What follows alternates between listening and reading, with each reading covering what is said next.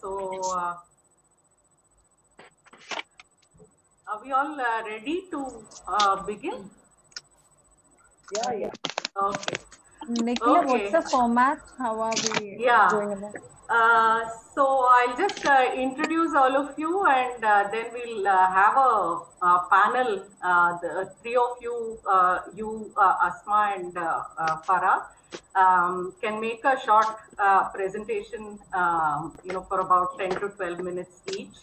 Uh, and if you want to uh, have a discussion among yourselves, that is also fine. Before we uh, open it out. Uh, the producer of uh, the film uh, will also, I think, hopefully join us for a Q&A uh, later. Uh, but to He begin with, we'll, she's joined? Yeah, Okay, okay. he's already. Welcome, welcome. Hello, hi. Hi, welcome. How are you all? Hello. Yeah, we are good. Welcome. Thank you, Nikhila. Yeah. Yeah, so um, uh, then we'll open it out and then uh, it, it can either be in the format of a Q&A or, uh, you know, people can just uh, respond. Um, so that's how uh, we are thinking of it. Um, so welcome uh, all to uh, Talking Films uh, Online, uh, the weekly forum uh, for uh, discussing cinema. Since a lot of new people have joined, I must say that um, we began a year ago. It was around May last year that Geeta casually suggested that we should have a, an online film discussion group. And then from June onwards, we have been meeting every Saturday night uh, at 9 p.m. to discuss uh, films. Um, generally the format is um, we uh, invite somebody to uh, suggest a film and then initiate the discussion uh, this time uh, it's a little different in fact samvarta who has joined us for this discussion was the one who in the course of a uh, WhatsApp chat uh, suggested to me that uh, we should uh, discuss Farha Khatun's uh, film and also invite her uh, to this forum. So that's how this has materialized. And I also must thank my colleagues and um, comrades in arms, Sherin and Asma, uh, comrades in many a battle, uh, who uh, agreed uh, to be part of this uh, panel. I didn't give them uh, very much advance notice. In spite of that, um, that they agreed to be part of this discussion is wonderful. So before we begin the discussion, I have to just introduce the three panelists.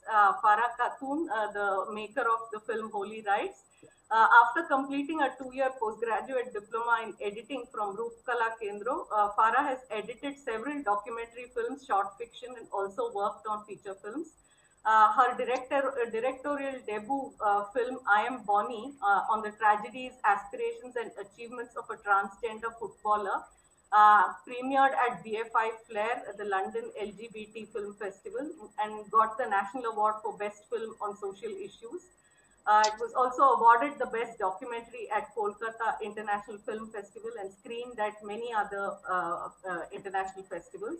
Her first feature-length uh, film, uh, Holy Rights, which we have uh, all watched for this discussion, on Safia, who joins a program for training women as Qazis, uh, followed by the lived experience of several women who fought against the uh, instant triple talaq uh, practice. It won the National Award for Best Film on Social Issues.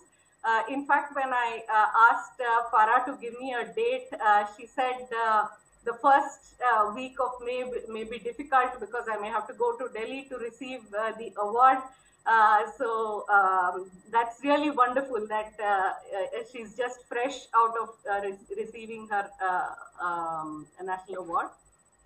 Um, and it's also won the cinematography award at Van- Vancouver National Ladli Media and Advertising Award for Gender Sensitivity 2020 and is currently traveling to many national and international festivals.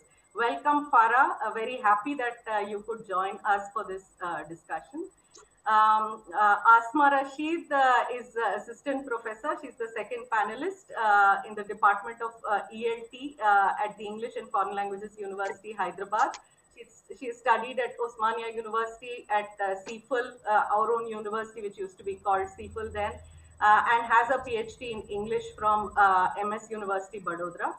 Um, her uh, teaching and research interests lie in the uh, area of critical pedagogy, in ELT, gender studies, translation studies, and interdisciplinary studies. Uh, and if I'm not wrong, I think she's also uh, written and spoken uh, extensively on this uh, issue, um, you know, that the film deals with. Uh, she has uh, supervised research in uh, MPhil and PhD uh, research, um, you know, in areas like uh, Dalit studies, gender studies, critical pedagogy, and so on. And has uh, presented papers at a number of national and international conferences. Um, she's been invited speaker at a number of important forums, um, speaking particularly on gender and literature. Uh, so uh, we're uh, very happy, Asma, that you could join us at this short notice today. Uh, Sherin, um, B.S. is assistant professor uh, at the Department of Comparative Literature and India Studies at the English and Foreign Languages University.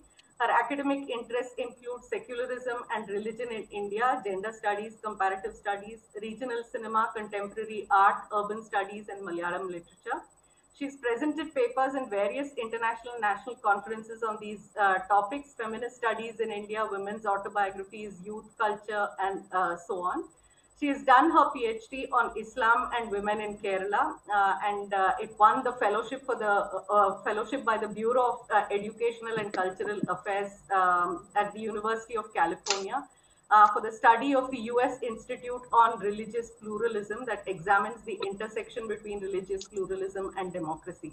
Uh, she's a bilingual scholar, writing uh, and publishing both in English and uh, Malayalam. Uh, her monograph on women and Islam is forthcoming with Orient Black Swan, and it's titled Gendering Minorities, Muslim Women, and the Politics of Modernity. Uh, she's also the author of the book, uh, I hope I get this um, right, Feminism, Deshiyata, Muttalak, uh, Prati Vyavaharam Galude Rashtriyam. Uh, sorry, uh, Sherin, if I have kind of mispronounced the, the Malayalam title. the English title is Feminism, Nationalism and Triple Talaq, the Politics of Counter Discourse in Malayalam. Um, uh, Priya, Priyanka um, More has also joined us. Uh, I'll, uh, uh you know, I'll introduce her uh, a little later, uh, just after this panel when we open it out for discussion, and Priyanka will also come in at that point in time. now it's over to you, Sherin, Asma, and Farha. whoever wants to go first, you're most welcome.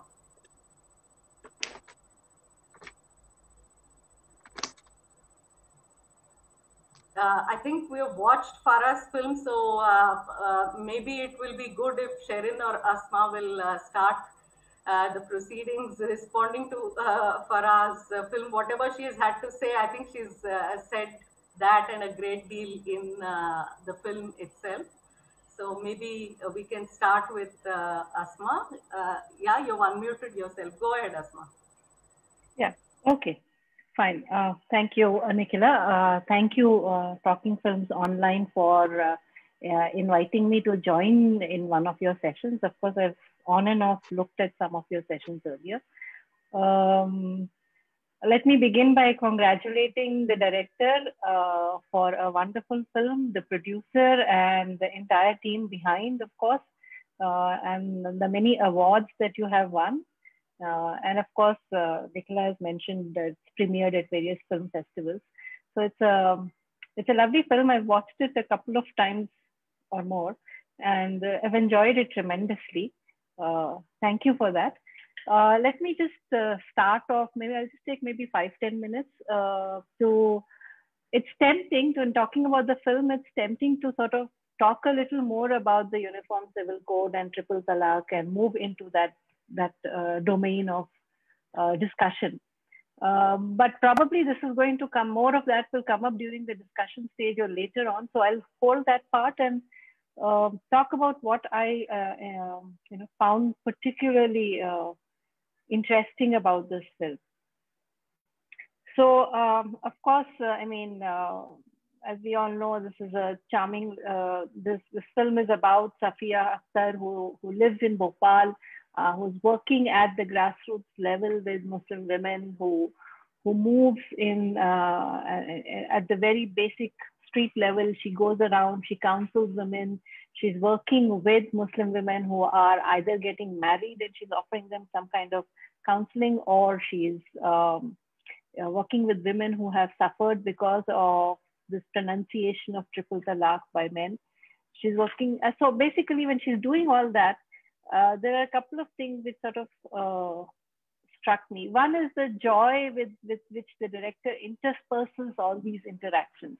That in, in, in between the stories of pain, of, of, of tragedy almost, of how uh, uh, injustice is done to these women, how, how they are arbitrarily uh, divorced and how the system, quote unquote, system seems to work with the men, even though uh, Safiya and her, her comrades are working hard to, to, to sort of set out and show that this is actually not correct. This is an incorrect way of, uh, of, of, of uh, giving divorce to your talaq to your wife.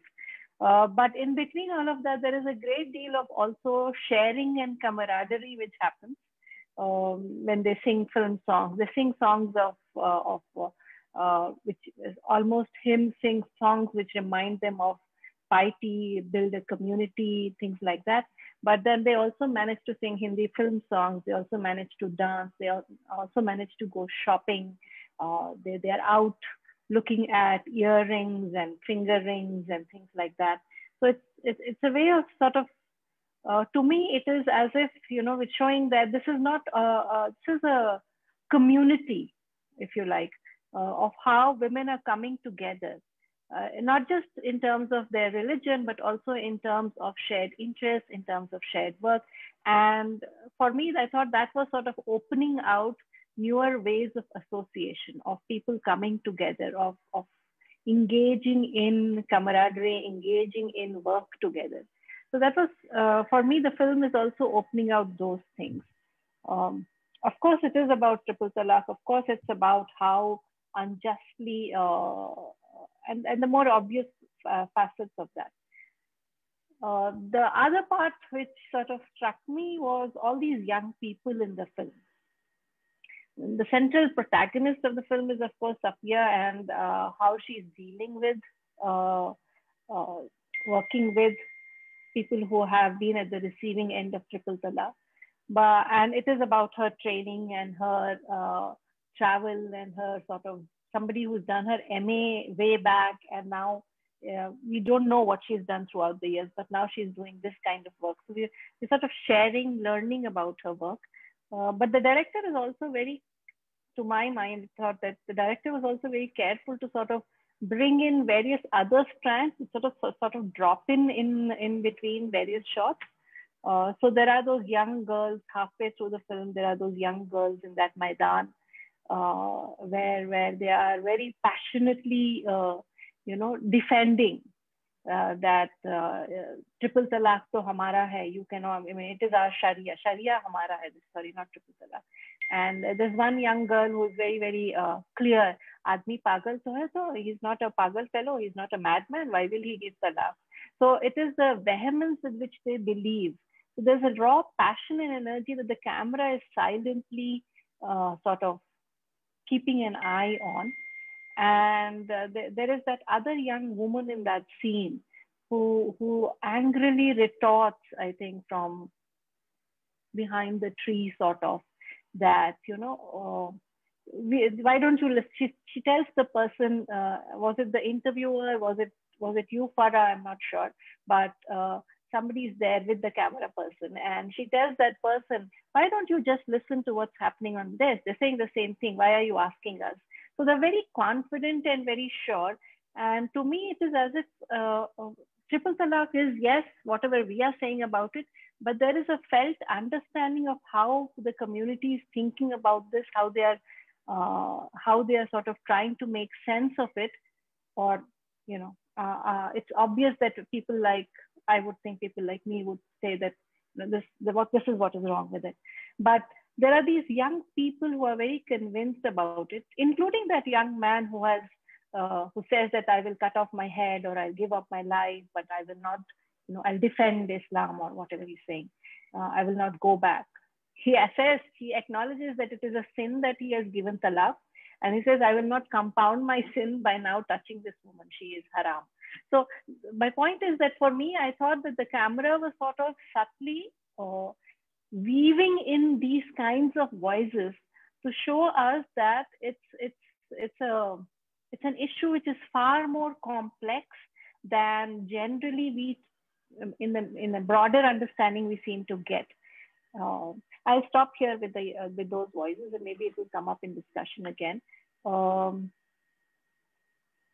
yeah, I think for now I will stop here because then I'll go on speaking as if in a classroom. So I'll stop here and um, let me just, uh, you know, invite our next panelist. Sherin, would you like to add? Go ahead. Yeah, Sherin, go ahead. Yeah. Thank you very, very much for the for, um, for the forum, for the opportunity to uh, speak here. Like I was not, I, I am not in Facebook these days, so I didn't get to know about this. You know, mentioned this to be uh, part of this, there's some problem with my internet. I don't know if uh, you can't hear me. Just let me know. Yeah, there's some problem with your network, I think. So the screen is freezing, freezing now and then. Okay, okay. Let me see. I just got a message saying it's. Um, um, is it fine now? Yeah, yeah, it's better, much better. Yeah.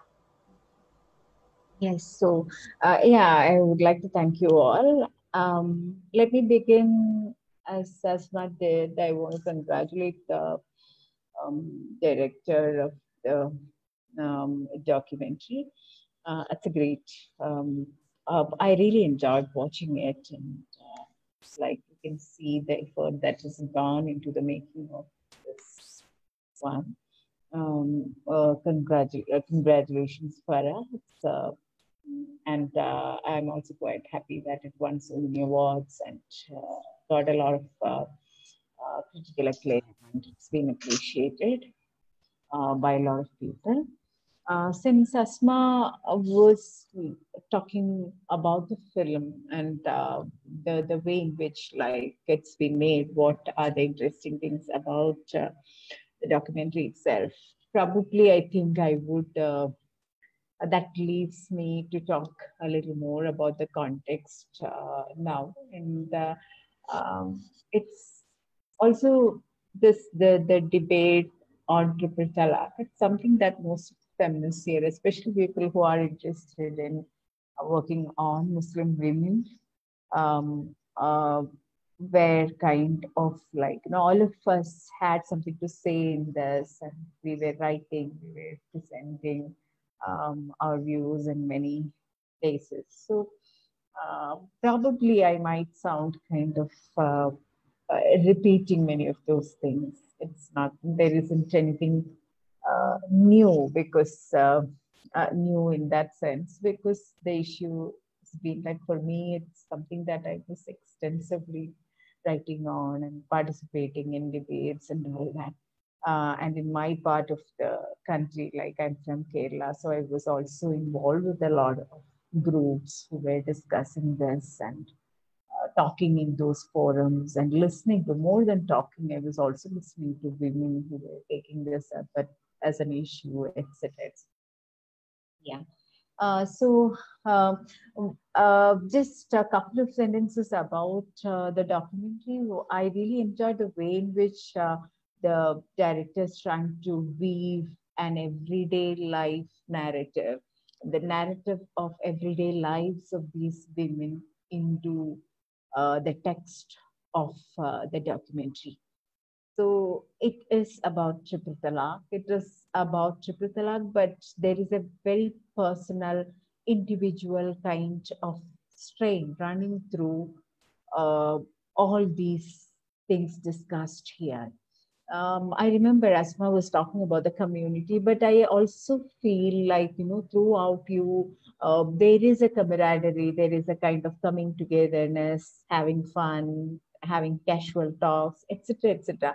but more than that i could also feel that individual uh, strain i would say like you know that that kind of a thing first of all it's about like you know uh, repetitively you hear this from safia like the person who was training herself to be the qazi uh, so she keeps saying it's between me and my allah. So uh, a religion uh, the idea of community all that come much later. Whereas uh, and this idea of religion that she uh, invokes, she tries to hold on to, that knowingly or unknowingly, there is something that is that this idea is pitted against.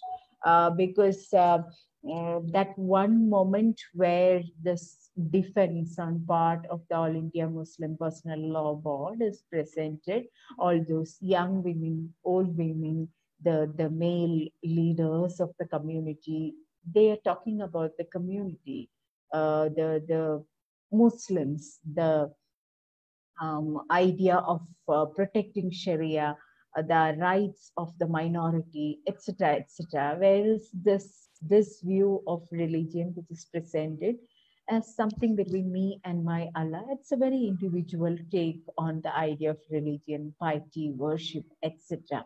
And I think um, knowingly or unknowingly, these two views are uh, kind of in some sort of a contestation in the documentary. On one side, there is this larger fray of community rights, the voice of the community, the idea of the community. There is also a very, uh, and the, the because uh, if you look at the women who are giving the narratives of suffering, the narratives of uh, um, marriage, uh, there, there are like you know the question of domestic violence. All those there. These are all like you know presented in some way as individual struggles, like to come out of the patriarchal uh, base, the come out of patriarchy, the, the sufferings imposed by patriarchy. So I feel that's the tension in the documentary, like between these two strands or these two uh, roots of thinking about religion and community. Um, so um, yeah, so um, I was also asking uh, myself who is like, you know, the camera, uh, whose eyes are like, you know, the, the, the, the camera is uh, giving a gaze and whose gaze is this? Is it the gaze of a Muslim woman?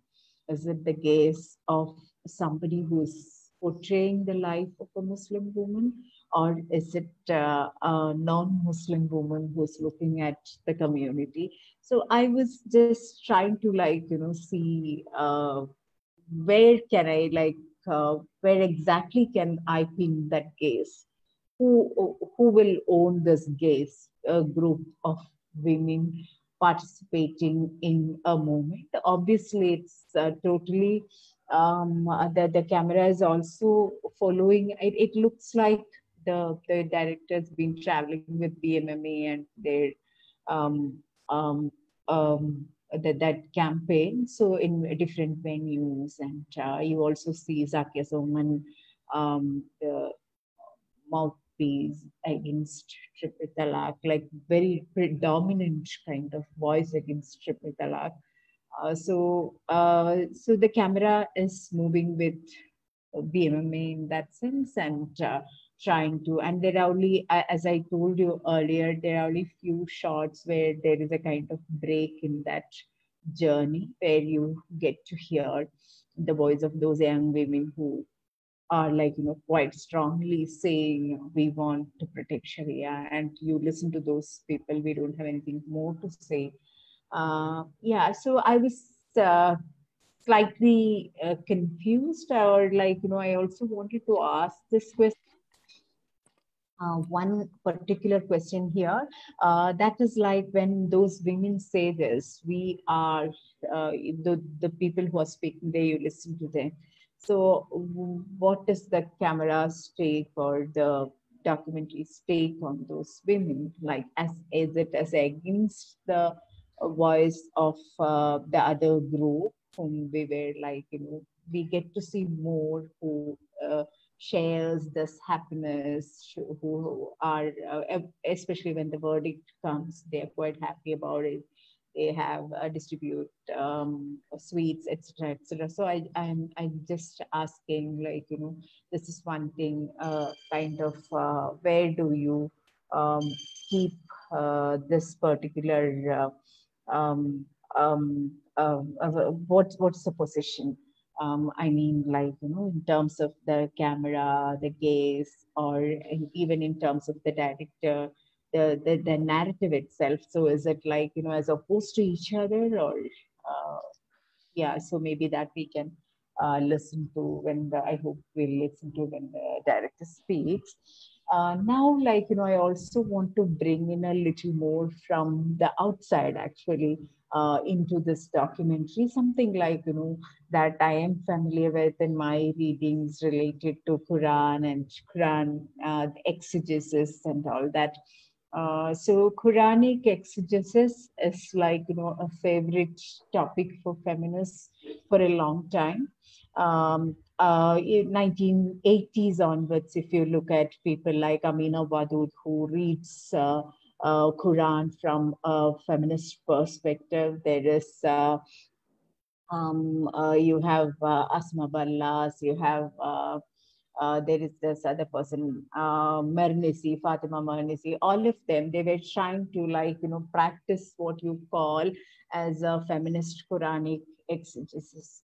So from their perspective, Quran has a lot of positive, good things to speak, good things to say, but what is wrong is the male uh, elaboration or interpretation of things in Quran.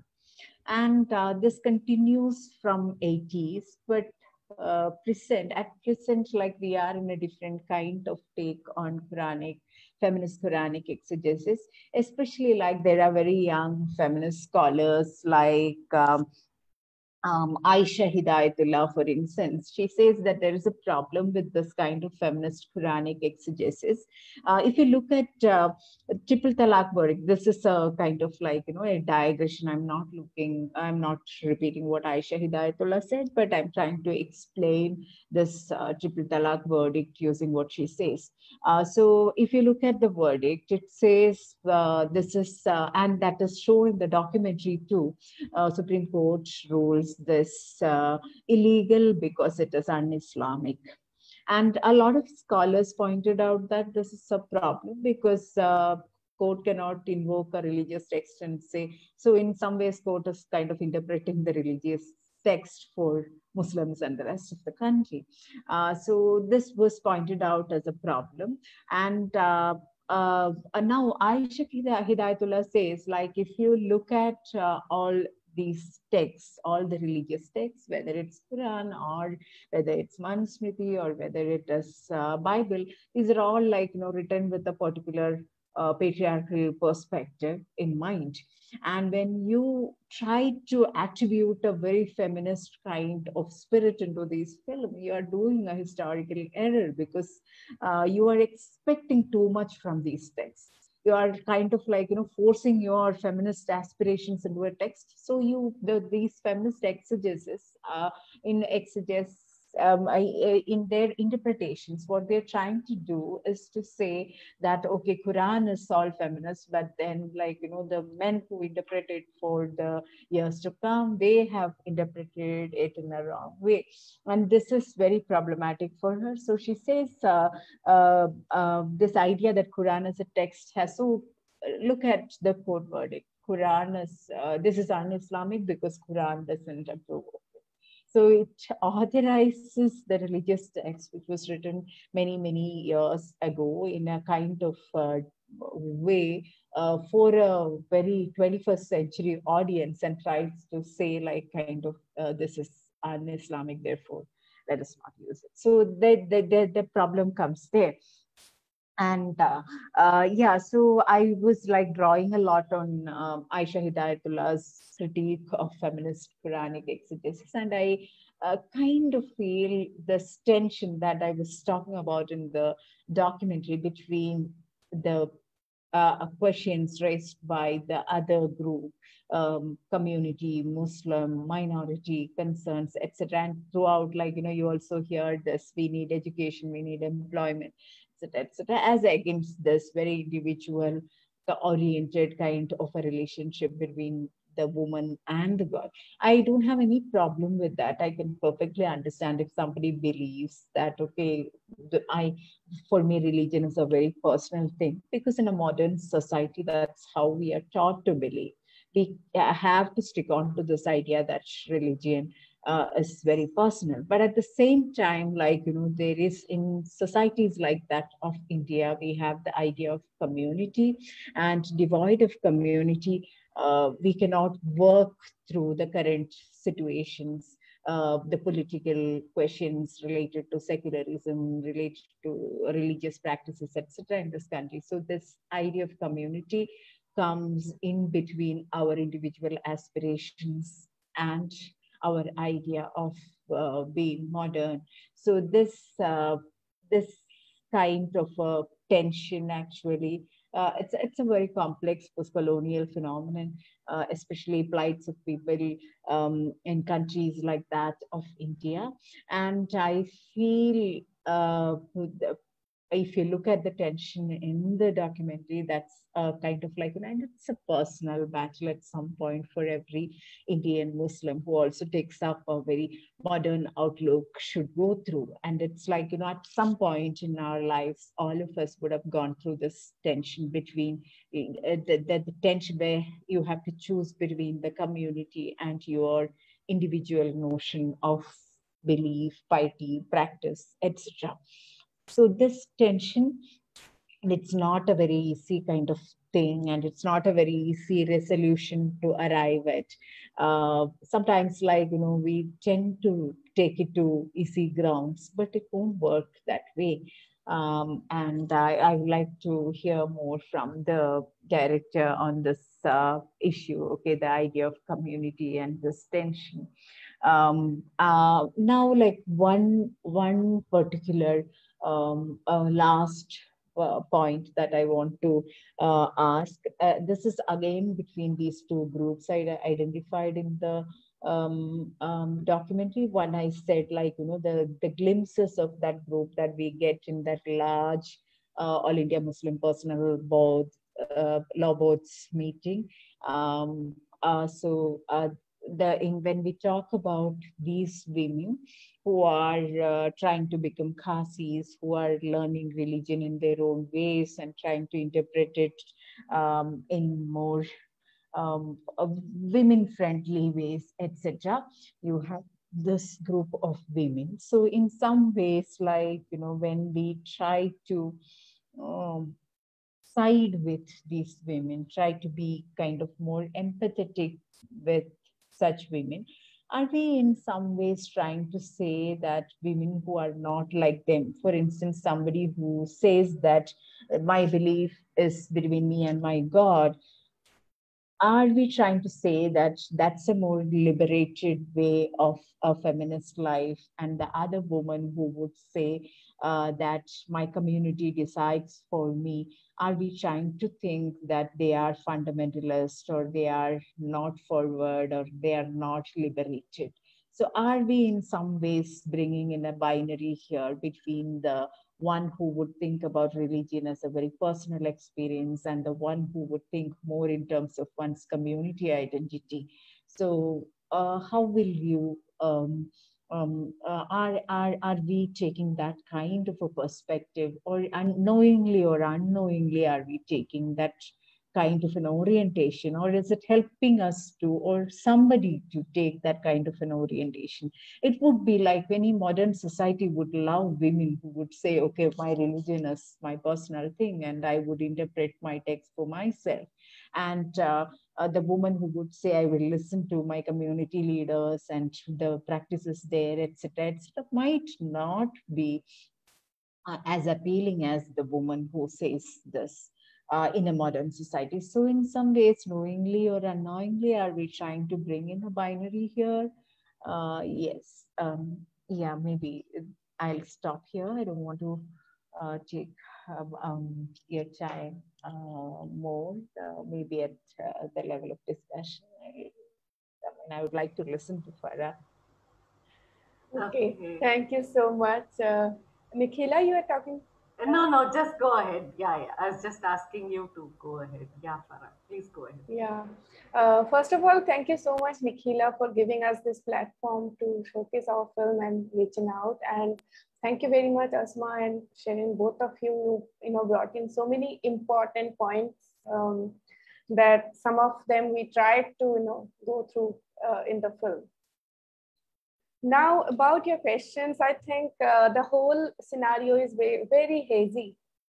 Are we in a position to talk about, you know, who is right and who is wrong? And I believe, you know, everybody has their own world and own way of living.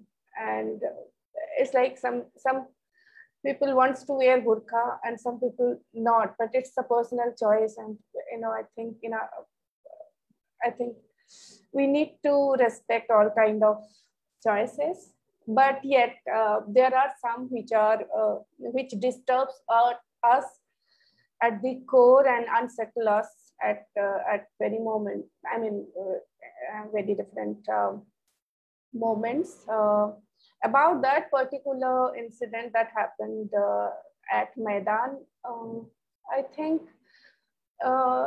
these women which i felt i'm telling you know i don't know about you know, their personal life. Hence it's it will be very wrong for me to you know comment on them in that way. But what what i you know faced that time and you know our entire team.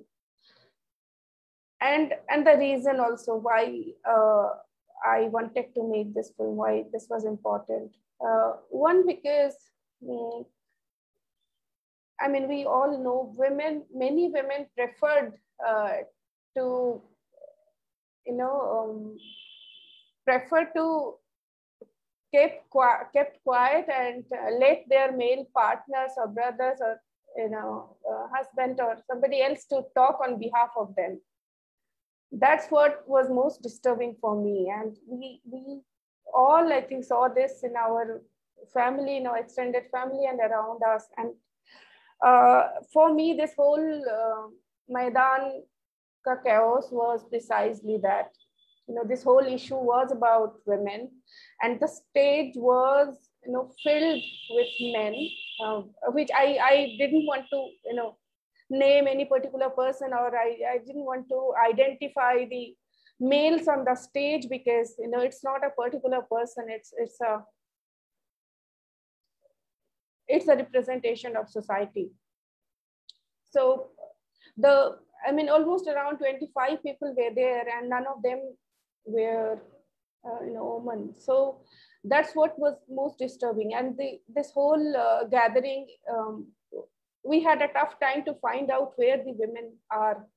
And finally, we, you know, uh, we kept on looking around and, you know, we found at one corner that to a, you know, segregated place where you know, this woman from the back, uh, she told, no, this is a segregated place, please move out. She, you know, kept on telling this. So, so yeah, I mean, uh, for me, that was the most problematic, uh, you know, scene because whatever we are, whether we are saying right or wrong, but let us speak for ourselves. Let, let's not make somebody else our mouthpiece so uh, so i mean for me that's why this film was important to tell from a from a women's perspective. And uh, uh, yeah i mean um, i mean i initially i wanted to make the film on uh, women qazis but then uh, with time and you know uh, with time triple talaq had become the you know main political issue in the whole country and and you know when these women uh, decided to uh, get trained uh, to become qazi that was also the main reason. Not a women friendly way I, I would say but you know they were trying to tell that we will not differentiate between men and women. We will uh, we will hear both the cases. We'll hear out both of them, we will not uh, not just hear the you know one person perspective and we will send the notice. Your you know marriage is over, your divorce is done, and whatever other verdicts. So that's what they were trying to do, and uh, for me that was important uh, to tell. Uh, and another thing about uh, about the you know, religious perspective which you are talking you were talking about uh, Sherin, uh, the thing is uh, in the film it was mentioned uh, when Safia Appa questioned me that uh, whether I practice uh, namaz or not I said no. I think that's where I try to clear my you know my politics in the film or my politics as a person. And uh, uh, for me, it was important that we all coexist and, you know, it's possible. Uh, and and what uh, what else? I I think that's all. I think you if you question, then I'll be able to answer. And if I forget anything to answer, please uh, let me know. Uh, Farha, thank you uh, so much for uh, making those uh, very interesting uh, points and how personal uh, this film was uh, in some ways uh, for you.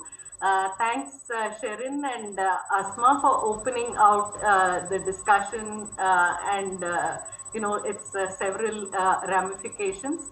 Um, I think uh, we'll uh, open it out to uh, others. Um, I, in the meanwhile, uh, let me also take this opportunity to uh, introduce uh, Priyanka More, the producer of the film, who is also very kindly joined us today. Priyanka is a graduate in media and has done her film course from New York Film Academy. She is a co-founder and producer of Mosaic in Films, which concentrates on making uh, narrative and documentary films. She's been working in the film industry for over eight years uh, and was part of Marathi film industry's first stereoscopic uh, 3D film. Her student film Home Away from Home was awarded the best film in Mumbai Film Festival. She's worked as a line producer on the Cannes award-winning, uh, uh, you know, ad film called Breakthrough uh, she has produced several uh, short fiction films which have traveled across several national and international film festivals.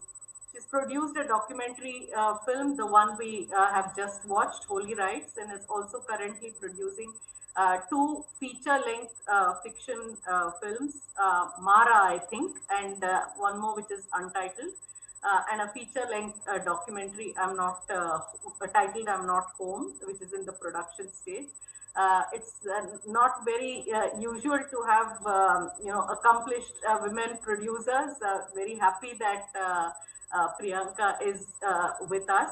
Um, maybe you know if there are any questions or if there are any responses in general to the film or to what Sherin, Asma, or Farha have just told us uh, we can uh, open out uh, uh the discussion uh, and then Priyanka can uh, come in if there's something directly that she wants to intervene in. anyone? Please unmute yourself so that I know that you want to respond.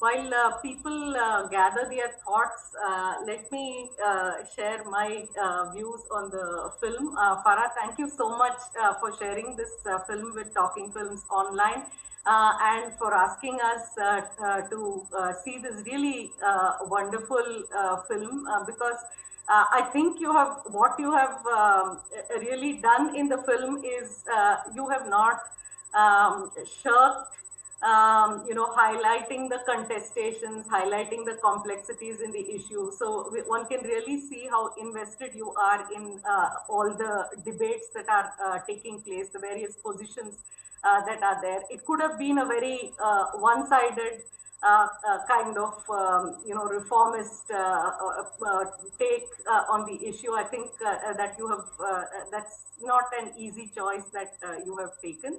Uh, I have um, uh, something, uh, I mean, I noticed something quite uh, interesting uh, in the way in which you have gone about um, uh, you know, choosing your central protagonist, Safia, so to speak. Um, what was interesting to me is the way you build her up initially. Um, you know, with her husband, he's probably the only male figure who, you know, has such an important uh, place in uh, the entire documentary. Um, so you kind of place her in this uh, domestic context, and then there is, uh, you know, the uh, the gentle ribbing that husband and wife um, have, and um, so it, it, I mean, you take pains to establish um, that though she is talking about issues which may be deemed controversial, um, which may uh, make her seem um, anti-family or anti-religion uh, or anti-community. Um, you you are uh, trying to set her up as this um person who is well ensconced in the domestic space, uh, in the family, in the community, in the religion, um, having her own take on uh, the religion. So was it a kind of conscious choice to decide? Um, this mode of narration, picking up a protagonist whom you would uh, kind of follow um, through uh, the different um, you know debates. So in some way she's anchoring your entire uh, documentary. So would you like to uh, say something about this uh, choice of safia Yeah, I mean, I initially we met uh, in Bombay in the Qazi training. We met around 30 uh, women from all over the country. And the reason uh, you know we chose to stick with Safia Appa for a couple of years is uh, you know her presence, her um, uh, you know her uh, charisma. you know she is she she is serious, but yet you know she brings in lot of fun in it and she brings in literature in it and a, a woman of her age taking all these risks and going to places and you know doing all this was very mesmerizing for all of us. Hence you know choosing Safia Appa was very important. And uh, about the shooting yes i think while shooting while placing our camera we we kind of go through that censorship you know that we believe in. And uh, um, and i think with safia Appa, i didn't really do that very much. She is the way she is here we see. I mean the way i see her personally i try to uh, you know bring that uh, in the film. And and yeah i mean she is very playful. She is uh, very motherly but yet very friendly. Okay. Yeah. Thanks. Anyone else? Uh, would like to come in at this point shailaja you have unmuted yourself yeah please go ahead unmute. uh, ah no no you want to speak eh, Yeah, but uh, I Yeah, want yeah. to I Yeah. want to speak in Kannada. It's more uh, comfortable for me. ah no problem please go ahead i can translate Then you can translate it. yeah sure okay ನನಗೆ ಇದು film ತುಂಬಾ ಯಾಕೆ important ಅನ್ಸ್ತು ಅಂತಂದ್ರೆ, ಇವತ್ತು ಧರ್ಮ ಧರ್ಮ ಗ್ರಂಥಗಳು ಅದಕ್ಕ ಸಂಬಂಧಪಟ್ಟಂತೆ ವುಮೆನ್ ಇಂಟರ್ಪ್ರಿಟೇಷನ್ ಒಂದು ನಡೀತಾ ಇದೆಯಲ್ಲ, ತುಂಬಾ ಸೆನ್ಸಿಟಿವ್ ಆದಂತಹ ಒಂದು ಒಂದು ಸಾಮಾಜಿಕ ಹೊತ್ತಿನಲ್ಲಿ ಈ ಫಿಲ್ಮ್ ಅನ್ನ ಅವರು ಅತ್ಯಂತ ಬ್ಯಾಲೆನ್ಸ್ಡ್ ಆಗಿ ಸೋಫಿಯಾ ಅನ್ನೋ ಪಾತ್ರದ ಮೂಲಕ ನಿಭಾಯಿಸ್ತಾ ಹೋಗ್ತಾರೆ. She's elder. ಅಂದ್ರೆ ಒಂದು ಹಿರಿಯ ಪಾತ್ರವನ್ನ ತಕೊಂಡ್ಬಿಟ್ಟು ಎಲ್ಲಾ ಒಂದು, ಮತ್ತು she is happy with her family ಗಂಡನ್ ಜೊತೆ ತುಂಬಾ ಚೆನ್ನಾಗಿರ್ತಾರೆ she doesn't have any problem but ಅವರು ಆ ಸಮುದಾಯದ ಒಂದು ಸಮಸ್ಯೆಗೆ ಸ್ಪಂದಿಸುವ ರೀತಿ ಇದೆಯಲ್ಲ, ತುಂಬಾ ಅದು, ಹ್ಮ್, ಏನಂದ್ರೆ ಮೆಸ್ಮರೈಸಿಂಗ್ ಅಂತಾನೆ ಹೇಳ್ಬಹುದು ಅಂದ್ರೆ, ಇಲ್ಲಿ ಆ ಈ ಸೊಫಿಯಾ ಆ ಪಾತ್ರದ ಮೂಲಕ ಇಡೀ ಸಂಗತಿನ ಹೇಗೆ ನಿಭಾಯಿಸ್ತಾರೆ ಅಂದ್ರೆ ಅಂದ್ರೆ ಹೊರಗಡೆ ಏನಾದ್ರೂ ಮಾತಾಡಿದ್ರು ಕೂಡ ಅಲ್ಲಿನೂ ಕೂಡ ರಾಜಕೀಯ ಸಂಗತಿಗಳು ಅದನ್ನ ಸೆನ್ಸಿಟೈಸ್ ಮಾಡುವ ಅಪಾಯಗಳಿವೆ. ಒಳಗಿನ ಪೆಟ್ರಿಯಾರ್ಕಿಯನ್ನು ಕೂಡ ಬಹಳ ಸೆನ್ಸಿಬಲ್ ಆಗಿ ಹ್ಯಾಂಡಲ್ ಮಾಡ್ಬೇಕಾಗಿದೆ. ಅಂದ್ರೆ ಅವರಿಗೆ ಬೇಕಾಗಿದ್ದು ಒಂದು ರೈಟ್ಸ್ ವುಮೆನ್ ರೈಟ್ಸ್ ಅನ್ನೋದು. So nothing more than that ಅಂದ್ರೆ ಈ ಕೋಮುವಾದ ಅದನ್ನ ಹೇಗ್ ಬೇಕೋ ಹಾಗೆ ತಿರುವ ಏನಂದ್ರೆ ಟರ್ನ್ ತೆಗೆದುಕೊಳ್ಳಬೇಕಾದಂತಹ ಒಂದು ಅಪಾಯಗಳ ಇದ್ದ ಹೊತ್ತಿನಲ್ಲಿ ಬಹಳ ಬ್ಯಾಲೆನ್ಸ್ಡ್ ಆಗಿ ಈ ಪಾತ್ರ ಅದನ್ನ ನಿಭಾಯಿಸ್ತಾ ಹೋಗ್ತದೆ. ಅಂದ್ರೆ ಈ ಸಫಿಯಾ ಅನ್ನೋ, ಸೋಫಿಯಾ ಅನ್ನೋದು ಅಂದ್ರೆ ಸಮುದಾಯದ ಒಳಗಿನ ಪೆಟ್ರಿಯಾರ್ಕಿಯನ್ನ ಆಕೆ ಈ ಏನದಲ್ಲ, ಧರ್ಮ ಗ್ರಂಥದ ಮೂಲಕನೇ ಭಂಜನ ಮಾಡ್ತಾಳೆ. ಅಂದ್ರೆ ಸಂವಿಧಾನ ಮತ್ತು ಪ್ರಜಾಪ್ರಭುತ್ವವನ್ನು ಅರ್ಥ ಮಾಡ್ಕೊಳ್ಳೋದು ಖುರಾನ್ ಮೂಲಕ ಆಕೆ. ನಮ್ಮಲ್ಲಿ ಖುರಾನ್ನಲ್ಲಿ ಹೀಗೆ ಹೇಳುತ್ತೆ. ಹಾಗೆ ಅದನ್ನು ಪ್ರಜಾಪ್ರಭುತ್ವ ಅಥವಾ ಸಂವಿಧಾನ ಕೂಡ ಹೀಗೆ ಅದು ನಿರೂಪಿಸುತ್ತೆ ಅಂತ. ಅಂದ್ರೆ ಈ ಒಂದು ಇವನ್ ನಾನು ನನಗೆ ಬಹಳ ಒಂದು ಇನ್ನೊಂದು ಮುಕ್ತಿಯಾರ್ ಅನ್ನುವ ಒಂದು ಆತ್ಮ, ಒಂದು ಅವರ ಬಂದಂತ ಜೀವನ ಚರಿತ್ರೆಯನ್ನ ಗಮನಿಸಿದೆ. ಅವರ ಮೇಲೆ ಆದಂತಹ ಒಂದು ಅತ್ಯಾಚಾರ, ಅನ್ಯಾಯದ ಸಂಗತಿಗಳನ್ನ ಅವರು ಸಸ್ತೆ, ಅಂದ್ರೆ ಅದನ್ನ ಅದನ್ನ ಒಂದು ಸಹಿಸಿಕೊಂಡು ಮತ್ತೆ ಬದುಕನ್ನು ಕಟ್ಟಿಕೊಳ್ಳೋ ಒಂದು ಒಂದು ಏನಿದೆಯಲ್ಲ, ಆ, ಒಂದು, ಹ್ಮ್ ಹ್ಮ್ ಹೃದಯವಂತಿಕೆ ಅಥವಾ ಒಂದು ಬುದ್ಧಿವಂತಿಕೆ ಅಂತ ಹೇಳ್ಬಹುದೇನೋ ಆ ಒಂದು ಧೈರ್ಯವನ್ನ ಕೊಟ್ಟಿದ್ದು ಅವರಿಗೆ ಪುರಾಣೆ ಅಂದ್ರೆ ಯಾವ ಧರ್ಮ ಗ್ರಂಥವನ್ನ ಇಟ್ಕೊಂಡು ಹೆಣ್ಣು ಮಕ್ಕಳ ಹಕ್ಕುಗಳನ್ನ, ಹೆಣ್ಣು ಮಕ್ಕಳನ್ನ, ಹೆಣ್- ಹೆಣ್ಣು ಮಕ್ಕಳ ಮೇಲೆ ಒಂದು ದೌರ್ಜನ್ಯ ನಡೆಸಲಾಗ್ತದೆಯೋ ಅದೇ ಧರ್ಮದ ಗ್ರಂಥದ ಮೂಲಕ ಅವರು ತಮ್ಮ ಸಮಸ್ಯೆಗಳನ್ನ ಬಿಡಿಸ್ತಾ ಹೋಗ್ತಾರೆ. This is the very important ಅಂತ ಅನಿಸ್ತು ನನಗೆ. ಆಮೇಲೆ ಅವ್ಲಿ ಸೋಫಿ ಹೇಳೋದು ಕುರಾನ್ ಹೇಳಿದ ದಾರಿಯಲ್ಲಿ ಹೋಗ್ತಾ ಇದ್ದೀನಿ ಅನ್ನೋದು ಒಂದು ಡೈಲಾಗ್ ಅಲ್ಲಿ ಎಲ್ಲಿ ಬರ್ತದೆ ಫಿಲ್ಮ್ ಅಲ್ಲಿ. ಅಂದ್ರೆ ಈ ಒಂದು ಯಾವ ಧರ್ಮ ಗ್ರಂಥ ಇಟ್ಕೊಂಡು ಇಲ್ಲಿ ಮಹಿಳೆಗೆ ಸಮಸ್ಯೆಯನ್ನ ಮಾಡ್ತಾ ಇದ್ದ, ಅದೇ ಧರ್ಮ ಗ್ರಂಥ ಇಟ್ಕೊಂಡು ಅವರು ಸಮಸ್ಯೆಯನ್ನ ಬಗೆಹರಿಸ್ಕೊಳ್ತಾರೆ. ಅಂದ್ರೆ ಈ ಸಮಸ್ಯೆಯನ್ನ ಬಗೆಹರಿಸ್ಕೊಳ್ಳಕ್ಕೆ ಅವರು ಎರಡು ದಾರಿಗಳನ್ನ ಕಂಡ್ಕೊಂಡಿದ್ದು ನನಗೆ ಅನಿಸ್ತು. ಒಂದನೇದು ಅಲ್ಲಿ ಖಾಜಿಯಾಗಿ ವುಮೆನ್ ಅಲ್ಲಿ ಎಂಟ್ರಿ ಆಗೋದು. ಅಂದ್ರೆ ಅಲ್ಲಿ ಅದು ಧರ್ಮದಲ್ಲಿ ಖಾಜಿ ಅನ್ನೋ ಪಾತ್ರ ತುಂಬಾ ಒಂದ್ ಬಹಳ ಇಂಪಾರ್ಟೆಂಟ್ ರೋಲು ಮತ್ತು ಡಿಸೈಡಿಂಗ್ ರೋಲು ಅಲ್ಲಿ ವುಮೆನ್ ಹೋಗೋ ಮೂಲಕ, ಅಂದ್ರೆ ಉಮೆನ್ ಹೋ, ಎಂತ ವುಮೆನ್ ಅಂದ್ರೆ ಆ ಧರ್ಮ ಗ್ರಂಥವನ್ನ ಒಂದು ಮಹಿಳಾ ಒಂದು ಹಿತದೃಷ್ಟಿಯನ್ನ ಇಟ್ಕೊಂಡು ರೀಡಿಂಗ್ ಮಾಡುವ ಉಮೆನ್ ಅಲ್ಲಿ ಎಂಟ್ರಿ ಆಗ್ಬೇಕು ಅನ್ನೋದು. ಮತ್ತು ಆ ದೃಷ್ಟಿಯಲ್ಲಿ, ಅಲ್ಲಿ ಒಂದಿಷ್ಟು ಸರ್ಟಿಫಿಕೇಟ್ ಇಟ್ಕೊಂಡಿರ್ತಾರೆ ಒಂದು ಸಮುದಾಯದ, ಅಂದ್ರೆ ಅನೇಕ ಹೆಣ್ಮಕ್ಳಲ್ಲಿ ಕುರಾನ್ ಅಂದ್ರೆ ಖಾಜಿ ಆದಂತ ಒಂದು ಒಂದು ಸರ್ಟಿಫಿಕೇಟ್ ಅಂದ್ರೆ ಎಲಿಜಿಬಲ್ ಆದಂತ ಒಂದು ಸರ್ಟಿಫಿಕೇಟ್ನ ತೋರಿಸ್ತಾರೆ. ಎರಡನೇದು ಅದು ಅರೇಬಿಕ್ ಭಾಷೆಯಲ್ಲಿ ಇರೋದ್ರಿಂದ ಇವ್ರು ಹೇಗ್ ಬೇಕೋ ಹಾಗೆ ಇಂಟರ್ಪ್ರಿಟ್ ಮಾಡ್ತಾ ಇದ್ದಾರೆ. ಅದು ಏನಂತಂದ್ರೆ, ಆ ಭಾಷಾಂತರ ಅಂದ್ರೆ ಅದು ನಮ್ಮ ಭಾಷೆಗೆ, ನಮ್ಮೆಲ್ಲರಿಗೂ ಅರ್ಥವಾಗುವ ಭಾಷೆಗೆ ಅದು ಬರಬೇಕು ಅಂತ ಅವ್ರು ಹೇಳ್ತಾರೆ. ಈ ಎರಡರ ಮೂಲಕ ಇಡೀ ಒಂದೇಂದ್ರೆ ಅವ್ರು ಬಹಳ ಸೆನ್, ನನಗೆ ಇಡೀ ಉದ್ದಕ್ಕೂ ಕೂಡ ಬಹಳ ಅತ್ಯಂತ ಶಾಂತವಾಗಿ ಯಾವ ಒಂದು ಆಡಂಬರ ಏನಂತಾರಲ್ಲ, ಹೊರಗಡೆ ಫೈಟ್ ಎಂತದು ಇಲ್ಲದೆ ತಣ್ಣಗೆ ಒಳಗಡೆ ಎಲ್ಲಾ ಮಹಿಳೆಯರು ಸೇರ್ಕೊಂಡು, ನಕ್ಕೊಂಡು ಅತ್ಯಂತ ಶಾರ್ಟ್ ಪೀರಿಯಡ್ನಲ್ಲಿ ಅವರು ಅಂದ್ರೆ ಮೊದಲು ಈ ಬಗ್ಗೆ ಒಂದು ಪ್ರಕ್ರಿಯೆ ನಡೆದಿತ್ತೋ ಇಲ್ವೋ ಗೊತ್ತಿಲ್ಲ ಬಟ್ ಈ ತೋರ್ಸೋ ಒಂದು ಅವಧಿಯಲ್ಲಿ ಅತ್ಯಂತ ಶಾರ್ಟ್ ಪೀರಿಯಡ್ನಲ್ಲಿ ಅವರು ಅವರು ಕಾನೂನನ್ನ ಬದಲಾಯಿಸ್ತಾರೆ, ತಮಗ ಬೇಕಾದಂತಹ ಕಾನೂನನ್ನು ರೂಪಿಸ್ಕೊಳ್ತಾರೆ ಅನ್ನೋದು ಇಂಪಾರ್ಟೆಂಟು ಆ ಆ ನೆಲೆಯಲ್ಲಿ ಒಂದು ಏನಿದೆಯಲ್ಲ ಅಹ್ ಅತ್ಯಂತ ಬುದ್ಧಿವಂತಿಕೆಯಿಂದ ಸಾಫಿಯಾ ಮೂಲಕ ಒಂದು ದೊಡ್ಡ ಬದಲಾವಣೆಯನ್ನ ಡೈರೆಕ್ಟರ್ ತಂದಿದ್ದಾರೆ ಅಂತ ಅನ್ಸುತ್ತೆ I enjoyed this film thank you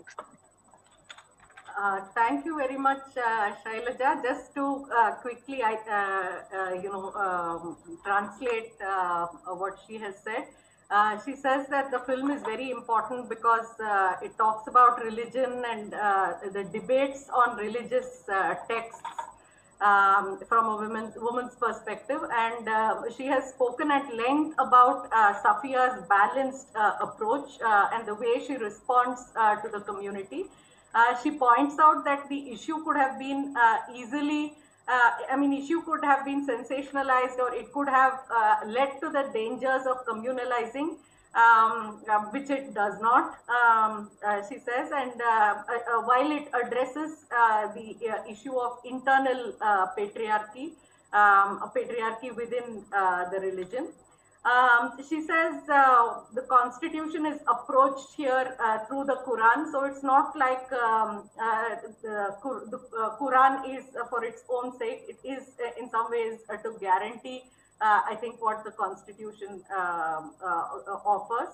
Um, she points out that uh, uh, autobiography, uh, where she talks about her the difficulty of building her life in the midst of difficulties, the various difficulties that she faced as a Muslim woman, um, is I mean, it reminded her of that. I think um, religious uh, uh, texts uh, uh, she says, on the one hand, uh, can be oppressive, but uh, the film explores the question is it possible for the same religious text to be used to work your way out of oppression um, you know through the same religious texts um, uh, she talks about how uh, the Qazi, I mean, uh, the, the way in which uh, it appropriates uh, religion. Uh, anta helboda, Shailaja?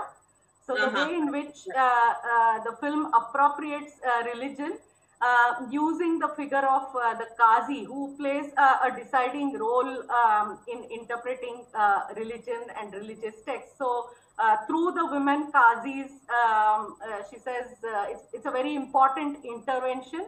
Um, uh, uh, you know, into the religious text, keeping women's perspective or reading the text from women's perspective. The second aspect here that she explores is the language, making the Quran intelligible uh, to women uh, because it is uh, in Arabic, a language uh, unknown to most people. So Safia is also like uh, uh, translating the language to women who know no Arabic. And um, she also appreciates the way in which the film takes us along with Safia's fight. There is no ostentation. Um, uh, you know, there is uh, no uh, great histrionics or no great fight. Uh, but by, by mobilizing uh, women and within a short uh, span of time, the, the, the documentary time, she says the law was changed. So it's handled very intelligently uh, by uh, Safia. Uh, this is her take. Uh, I hope, uh, Shailaja, I have covered uh, the points. Yeah, that yeah, you have yeah, yeah. You covered, you covered, you yeah, covered. okay, okay. Thank you, thank you for your uh, response. Uh, uh, Farha uh, or uh, Priyanka, uh, would you like to respond uh, at this point, or uh, even Asma and Sherin? Anyone uh, would like to respond to what Shailaja is saying? If I can. Yeah, yeah. Uh, Please go ahead. Yeah, I think Shailaja has hit on a very important point, which I was sort of trying to uh, get at earlier. Uh, the I, the idea that uh, women are able to break through the interpretation of religion uh, without uh, losing anything, also using it in order to sort of create a space. We have this, uh, what the film, for me, the film was also showing that uh, we have this stereotypical or we have this uh, popular kind of understanding about Islam as a regressive religion or women trapped in burqas or, um, you know, something which is very, very uh, stuck in a particular point in time in terms of a quote unquote developmental history. So I think when Shailaja is talking about this, that is what comes to my mind that uh, the way that the camera follows uh, uh, the work of these women uh, who are working as Qazis, who are, you know, when she goes to office, when Safia goes to office, they're all sitting together, poring over forms, um, discussing the laws, discussing the, the counseling people, things of that sort. That it's also breaking certain stereotypes of uh, Muslim women.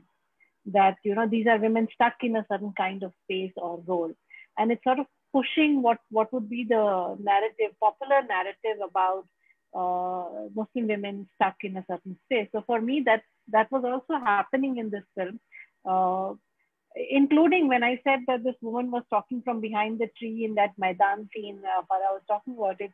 For me, it was that moment was also whatever that young girl was thinking about Sharia, problematic from perhaps my perspective or perhaps for us perspective as well. But the fact was that she was able to speak very strongly. Right? She was very clear about I mean, um, the point is that she was talking in a particular fashion, but my point is that she was talking. So for me, th- these are moments in the film which are sort of also doing other kinds of things. So the, the text is sort of also opening out narratives of how Muslim women are actually working through their lives, not in that way, in the fashion that we saw, we, we, we, we accept from popular narrative. So they're pushing these kinds of narratives. They're also pushing the tradition for reform uh, when Safia is talking to the journalist, when she's talking to other people, when she's counseling people, she's, the narrative for reform, she's asking questions, she's uh, asking people to think. She's asking them to look at the evidence from the text. So she's doing all of these uh, moves that she's doing. For me, this is sort of breaking the, uh, the, the story of an unchanging, regressive uh, kind of narrative which, which circulates in the world around us. So for me, what Shailaja is saying, I think is very, very uh, right that she's the figure of the female Qazi, the figure of all these women who are working with religion, but nonetheless extracting or, or, or searching or putting out their perspective and their rights from within the text. For me, that's a very positive move that's happening uh, in the film. Uh, I'm not sure if that was what Shailaja was also getting at, but that's Yeah. how I understood. Yeah, yeah, yeah. I think that was uh, her, her view. Um, anyone else uh, would like to come in now? Uh, may I come in? Yeah, Rajan, please go ahead. Yeah, I, I found the, the film just wonderful. Yeah, and uh, I think uh, these points have already been brought up. But I found this idea of liberation theology and the idea of Paulo Freire's dialogic method, whether it's deliberately done or not, that's happening over there by all the questioning which Asma spoke about just now, right? There is this idea of you come up with the answer, right? I'll ask the question and you work it out for yourself. Right? I think that was a, a very, very democratic kind of way of going about this. And it's definitely got something to do with liberation theology because uh, it's a question of taking the text and looking at it from different perspectives. Of course, liberation theology looks at it from a Marxist perspective. But uh, uh, yeah, there are some Muslim reformers. Uh, I'm sorry, I can't give you the names, but uh, there's one of my friends who worked on uh, uh, liberators, jihadis, and something else in Islam, right? So he was telling me about these these people who actually, I think it's a UK-based uh, kind of reformer who goes and actually mixes around with liberation theologians and works something out with Islam, which which I found was very interesting. Yeah, yeah, and that's all I have to say. Thank you, and it's a lovely film. Yeah. Thank you, uh, Rajan. Uh, would anyone want to respond? Sherin, Farha, uh, Priyanka, you're also welcome to uh, respond at any point. If you uh, want to come in, you're most welcome. Please unmute.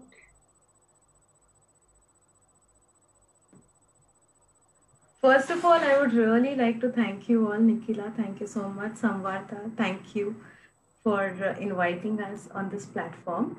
Uh, Sherry, Shailaja, Asma, thank you for such wonderful points that you have taken out. And uh, we feel really nice when uh, people like you watch the film and comment on it. And the points that you have come up with is uh, is really uh, we would really like to talk about those points, like how Farha said. Uh, uh, Safia Appa, she is she's such a solid character. Like um, the way Asma started, uh, the way um, Shailaja also spoke, Asma also spoke that she has very different life when she speaks, uh, when she is in her family, the way she is, and the uh, the time when she goes out and she talks in the com- community and uh, how influential she is and um, so all those relations also we have started uh, we have showed in the film. So i think uh, the way she is fighting and the way she is uh, influencing people and the way she is translating quran and uh, she's trying to educate people more than influence educate people.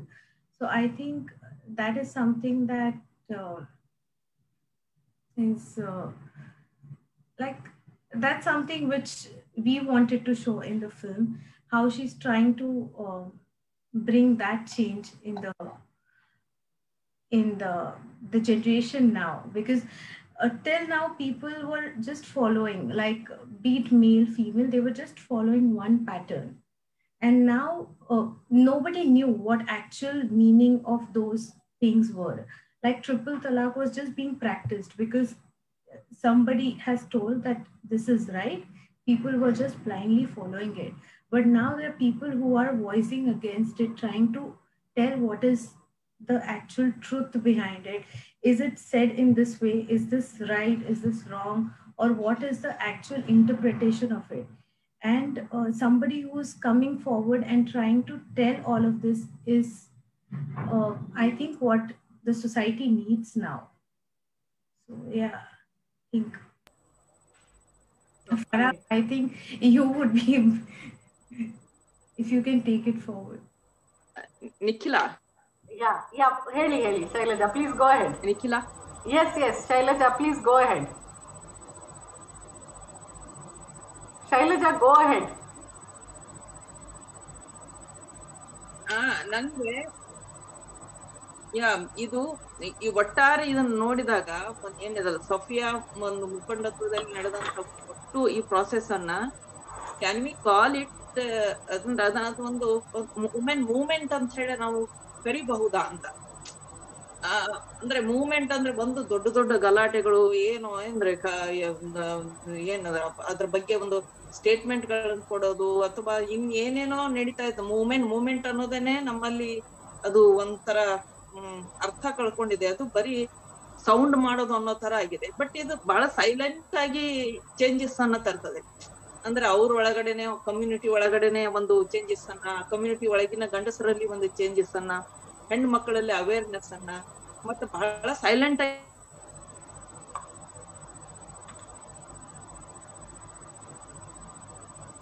Uh, Shailaja, we have lost you. We have lost uh, connection with you. Yeah, what she was uh, saying is, uh, can we call it a women's movement? Uh, because uh, the general sense of a movement is, uh, you know, there is mobilization, um, uh, you know, and at a larger level, there is uh, noise and, uh, you know, uh, Disconnect ಆಯ್ತು. visibility. Yeah, Okay, yeah. record. Yeah, please go ahead, Shailaja. We lost you. Uh, Nikhil connection. Disconnect ಆಯ್ತು ನಂದು ಪ್ರಶ್ನೆ ಇದನ್ನ ಹಾ ಹಾ ಹಾ ಕೇಳಿ ಕೇಳಿ ಡಿಸ್ಕನೆಕ್ಟ್ please ಆಯ್ತು go. Yeah go ahead we can hear you ಮಾತಾಡಿ ಕೇಳಿಸ್ತಾ ಇದೆ ಕೇಳಿಸ್ತಾ ಇಲ್ಲ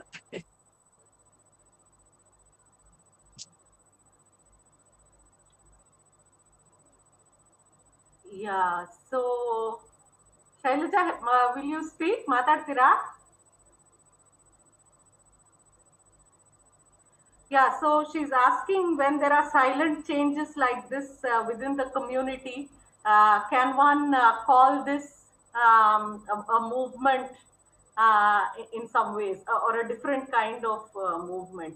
Uh, Sherin, would you like to respond to this? Would you see this as a movement in some ways, or you know, there was no spectacle as such, but something that is taking place uh, internally within the community?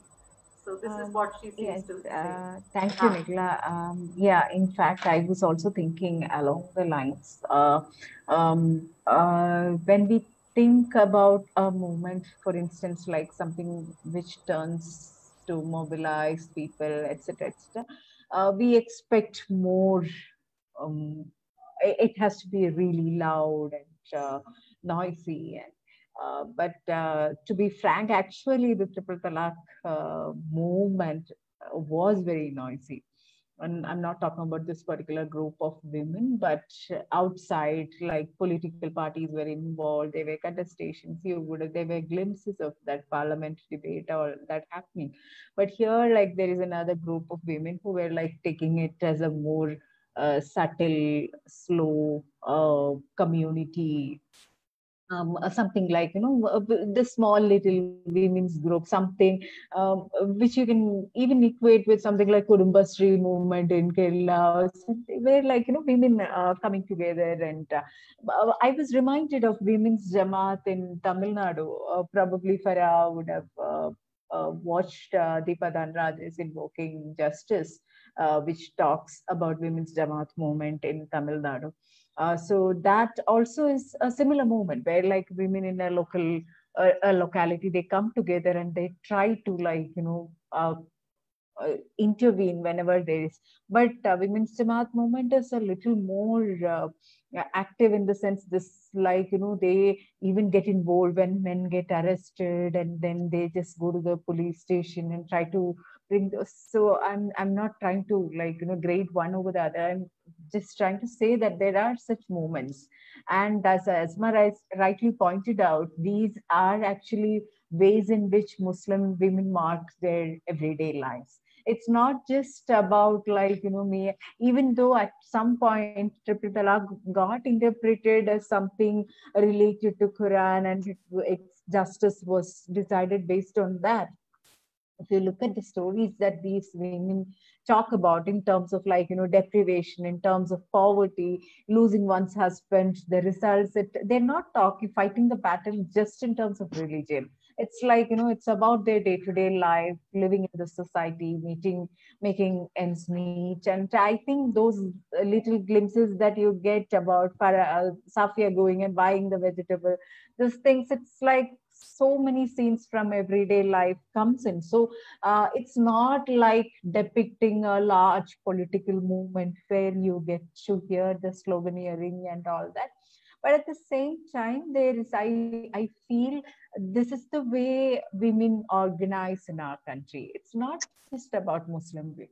Um, if you think about uh, um, um, there is this other uh, um, um, piety, there's a piety movement about on which Saba Mahmood uh, had written about. So she talks about the piety movement in um, um, Egypt, where women come together in the name of religion and how uh, this uh, happens. Uh, it, it so there the organization is uh, happening in terms of the community feeling is coming in terms of one's belief one's practice of one's religion likewise here like you know i, I feel it this is not just particularly about muslim women or muslim women uh, of a particular uh, class or anything. This is how women organize in our country. These are the ways through which unless under the aegis of this larger political organizations there are lots of these examples of local movements if we look at uh, uh, women. And what bring them together would be shared planes of sufferings, achievements, uh, whatever camaraderie they have, uh, even like, you know, sitting and talking. So this, these uh, everyday uh, practices in some ways will develop that definitely will make a change or a difference in uh, people's lives. So uh, for me, actually, you know, the, those participant women are quite interesting, fascinating to watch as we would watch the participants of uh, Women's Jamaat movement in uh, Tamil Nadu. Whereas um, the, the larger political agenda, how this was played, what were the debates that got involved, all those are like, you know, peripheral uh, topics when we look at this particular uh, coming togetherness of these women. Can I add to this? Nikhila, you are on mute. So. okay. Yeah, please go ahead. Yeah. Yeah, I think Sherin, you uh, brought out a very important point here. I think, you know, um, I feel that my mom and my nanny, they both of them were, you know, an inspiration to me because I saw them, you know, closely working and dealing with all these, uh, you know, all these things which women are not supposed to do and how they are in their own way dealing with all these and, you know, yet uh, making those decisions and, you know, finding out a way to solve all these, you know, small, small things. They, they might not gather in a in a big rally but you know they gather in small amount they gather in their neighborhood you know the five six of women they talk about you know if if father if somebody's father is opposing to this girls education and these women you know talks about how to deal with it and then they come with a solution and they you know they handle it and this is how all women around the country, irrespective of all the religion and everything. You know, this is how this whole system works, and this is the uh, small negotiation which actually brings a larger change in the society. Yeah, thanks, Farha. Uh, anyone uh, would like to come in now? May I? Yeah, yeah, please go ahead, Vijay. Um, I, I would like to talk about uh, the uh, concluding narrative part of the documentary. So I, I appreciate appreciation part of the documentary is already done by others. So let me not talk about it. But uh, here the uh, concluding uh, or the ending narrative part of the documentary, wherein we see uh, political debates. Sherry was telling that it's a peripheral political debate. Uh, and what is important in the documentary, according to her, is uh, the struggle that the activist had to uh, um, um, go through uh, while uh, enlightening the Muslim women about the importance of, uh, I mean, the the negative side of talaq, etc., etc. So that, but the political debates which are shown in the documentary, even though very briefly, also provoke us to think about who is uh, arguing for, I mean, arguing against talaq and who is criticizing the Supreme Court verdict and what are the terms of criticism and what are the terms of uh, speaking for uh, the Supreme Court verdict. It's very clear in the documentary who is uh, speaking and what, and uh, it uh, such scenes in the documentary definitely make us think who is speaking and for what and what is the political ideology. That way, the film, uh, the documentary has successfully uh, provoked us to think on these lines. And I don't think uh, it can be a peripheral uh, uh, uh, part of the documentary. That's one. Secondly, I was wondering, I was, while watching the documentary, I was also looking at the time of the documentary. It was almost at the end of the documentary. And I was thinking uh, if the documentary is going to end on uh, uh, the uh, at the I mean uh, on this uh, these shots of political debates, but it doesn't end. if you look at the statements made by the the activist so Safia, and she says that whatever may be the verdict of the Supreme Court, she has to still go a long way. She has to struggle a lot. She has to still fight for uh, the cause for which she has been uh, fighting all these days, that only shows that uh, the Supreme Court verdict, though on, at, I mean, it is against talaq, um, also makes us think that that the struggle or the fight for the right cause of Muslim women is not over. It has to continue. So there, the, the documentary uh, ends with that statement. So uh, it's also a kind of political statement that she makes. Uh, so just whatever uh, stray thoughts that I had. Thank you. Th thank you, uh, Vijay, for your uh, stray thoughts. Sherin, Farha, or Asma, would you like to respond? Um, can I? Yeah, yeah, please go uh, ahead. So actually, you know, I think there is some misunderstanding also. I was not trying to say that uh, the political issues are peripheral. I was just trying to say that uh, what strikes or like the, the documentary is composed of the everyday subtle nuances in the lives of these women and the community is built around those things, not in terms of uh, kind of like you know because uh, triple talaq uh, debate was uh, kind of muddle you know the the kind of mess it created because uh, and it left all of us in such a confused situation primarily because who was raising this uh, uh, issue of the rights of Muslim women. If I uh, just like, you know, if, when I go through what I experienced at that moment, when you know, like, you know, whether it is triple talaq, whether it is uniform civil code, this idea of saving Muslim women who are uh, trying to save Muslim women and what they did to Muslim women in reality. So these kind of questions keep coming up. Uh, so that uh, therefore it's a kind of muddle. It's a like you know it's it's like entering tricky waters and it left all of us so confused. And uh, to take a position a particular position there was like we had to think many times.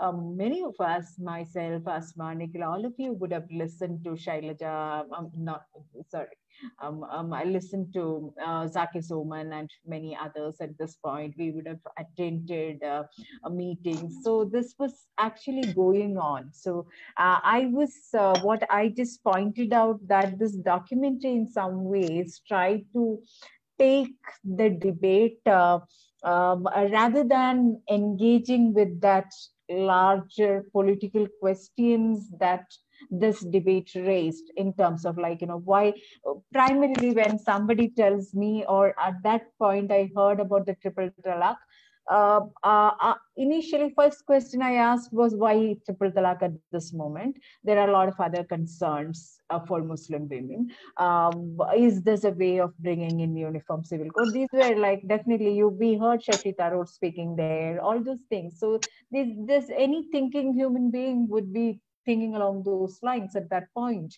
But the documentary actually uh, i felt uh, taking us into the lives of some of these women. And uh, even though like you know in some ways the story of deprivation the story of divorce story of like those lonely women they are not like happy stories. But it is trying to talk about a kind of like you know uh, certain commonalities that bring these women together. There is a feeling of camaraderie. There is something like, uh, um, uh, I think we women would know, experience that feeling more than uh, anyone else we can understand that like you know uh, to be part of a moment to come together to talk it makes it sense for us there's so much energy spirit that we it, it's not about some revolutionary uh, battle but whatever it is. So i feel that is the strength of the documentary where like you know you get to listen to those women. Of course the political questions are important it is there and uh, end of the day uh, when i hear triple talaq it is not about whether triple talaq is good or bad. It's very easy to say we should not have it bad. But at the time the context the way in which it was it was played the who raised it all those those associated questions become quite uh, difficult to address so uh, it's like saying if you are not uh, like modern and secular you are a fundamentalist. So if i say uh, why are you talking about triple talaq at this moment? It will immediately make me a supporter of triple talaq so you believe in this. That was the way in which it was interpreted at that point but that it's not that kind of an easy question or a position to take because we know about the context we know the difficult situation. So i was just trying to in that sense the documentary uh, it, it gave a kind of feel good factor in in terms of like you know because we get to get into the lives of those women. And the that's not the suffering so misery story. It's more about like you know the day-to-day lives. Of course there is suffering but then it's like so the typical documentary about a social evil would you know the typical framework in which a social evil documentary would uh, come before us like the suffering women the women who live in distress penury all those things. But here there is something more. Like even in the midst of this battle there is some sort of a companionship that is coming up um, between these women and that makes it interesting for me. But if i am asked to like you know primarily i uh, had a lot of uh, kind of um, um, I would say, differences with the movement. Uh, I was not very convinced of BMMA's role in this. I was not very convinced of the facts and figures BMMA presented. I was not very convinced of the way in which the debate came up, and immediately the next adjacent uniform civil code debate. So those are my reservations. It's it comes from my own experience as living a Muslim woman in this country. Um, with a kind of like, you know, even with a very secular uh, academic kind of a background, uh, there are certain experiences that shape your beliefs, your politics, etc. So that way I feel uh, I have to distance myself from certain positions. But at the same time, like, you know, I enjoyed, really enjoyed watching the documentary because I uh, could get into the lives of these women. I could easily empathize with them, understand what they're doing, what they're saying, which we would, and I felt that is not very specific to this moment. I feel these are the ways in which local movements among women develop in this country. That's what I was trying. Yeah. Thanks, uh, Sherin, for the clarification. Yes, Asma, go ahead. Yeah, uh, thank you. Uh, well, actually, thank you for raising that question, Vijay, about the larger context. Uh, uh, I think uh, Sherin has already spoken a little bit about how uh, different kinds revolutions happen at different levels and in different fashions. They unfold with their own logic. Um, uh, I don't uh, I don't know what the director will have to say for, about it, but I had the very strong feeling that this was a very subtly, carefully, cleverly done uh, way in which the larger political context was very much present. Uh, I was thinking of a couple of other uh, short films. There's one on um, called Three Second Divorce I, don't know if uh, everyone here would be familiar. It's again a, a, short film, which a documentary which came out a few years ago, uh, made by um, Shazia Javed, somebody like that. Uh, yes, yeah. So it, it also takes off from the life of a, uh, a much younger person, a similar like uh, from the BMMA training program, etc., and follows her life and so on. But she's a much younger woman. Uh, there is also another one, which a very short film, which I was reminded of, which is there on YouTube, which uh, I would invite you all to watch, is Miyan Kal Aana, which is made by uh, Nawazuddin Siddiqui, I think. Uh, which again, uh, but that focuses on men. It's very humorously made. It focuses on men and the fallouts of what happens when they make this pronouncement of talaq, talaq, talaq. All right, so the practical fallouts of that It's a humorous kind of uh, film, but it, it, has larger kind of issues woven into it. Yeah, but to return to the point that uh, Vijay is talking about, the larger context, I thought that uh, uh, Holy Rights was doing this very, very carefully.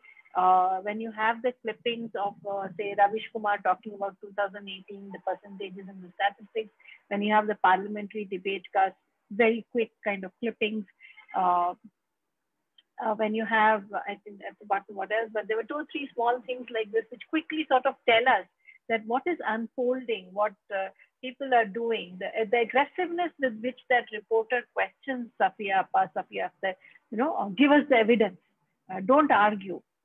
So here is a reporter who's supposed to listen and ask and get information, but he's actually threatening the woman who's there. Uh, so she momentarily she gets flustered. I thought and then she comes back, she rebounds, and then she gives him chapter and verse literally.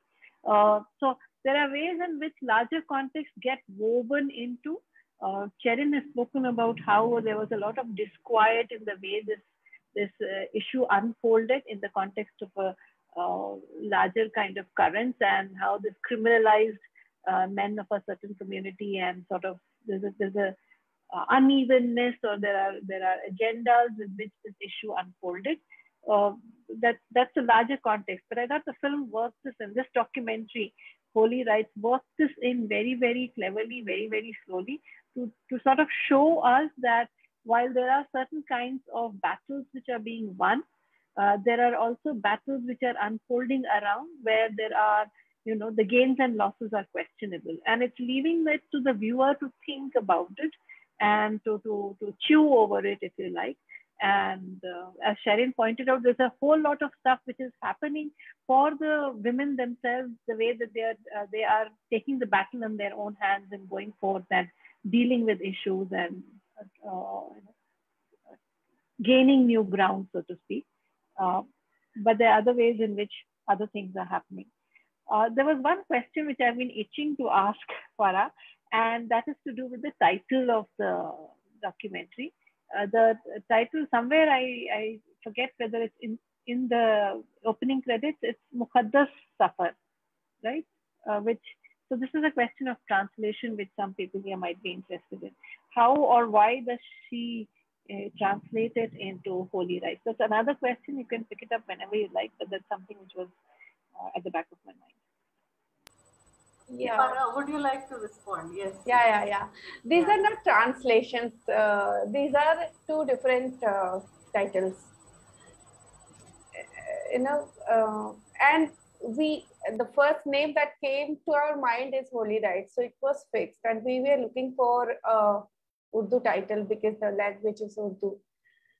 We tried to translate in every possible way, but the meaning uh, of the documentary of the film of you know the essence was not coming out. So we decided to you know uh, go for a different mm, title. So that's how Muqaddas Safar came because for me, those are two very, very different kinds of titles. The resonances and ones are very different. So I was curious about. And now you have just said that you first fixed on holy rites and then came up with this. So, uh, yeah, and that's another conversation, maybe another time. Thank you. Yeah. Anyone else? Yes, uh, Ananta Perumal. Yes, please go ahead. Um, hi, I have a question. Um, please correct me if I'm wrong, uh, but you had mentioned, uh, I'm speaking to the filmmaker, uh, you had mentioned uh, that your original intent uh, was to um, sort of follow these characters who were, uh, follow these women who were wanting to become Qazis. And then at some point in time, triple talaq became sort of a, um, an issue. can you please talk a little bit about what your process as a filmmaker was um, with respect to editing, uh, whether it was inside your head or if you were doing continuous editing even at that point in time, about trying to weave in this new um, uh, new strand into this and how eventually that that sort of uh, settled into the film. Uh, thank you, Ananta, for this question. This this is very interesting, and uh, I think this whole narrative was made in the editing table, not during the uh, filming. During the filming, uh, filming, of course, I kept in mind that triple talaq will be the backbone of this film, and I would, uh, you know, go for uh, mainly go for this whole Qazi training, and of course, you know, Safia personal journey as well. You know, keeping that in mind, and you know, uh, the backdrop will be triple talaq, but you know by the time we finished our shooting and the, by and around that time the intensity of triple talaq was you know uh, much more important. It affected us uh, in different ways. And that's why uh, you know the the narrative i mean this this particular way of weaving the story that this absolutely this was done uh, during the edit only so yeah i mean uh, with time during filming you know because documentary is you know obviously we don't know what's going to happen. So many things change. I mean we started from something and it you know we ended up shooting something else. So yeah this is the, the thrilling part of documentary. Sometimes it, it, it come as good sometimes bad but you know this is how it is. And and yeah, I mean, our editor was also, you know, his name is Franco. He's quite experienced uh, editor and well-known editor. And I, I am an editor, but I chose to stay away for, you know, for my own projects, and especially Holy Rights, because it it has a lot of personal moments from my side also.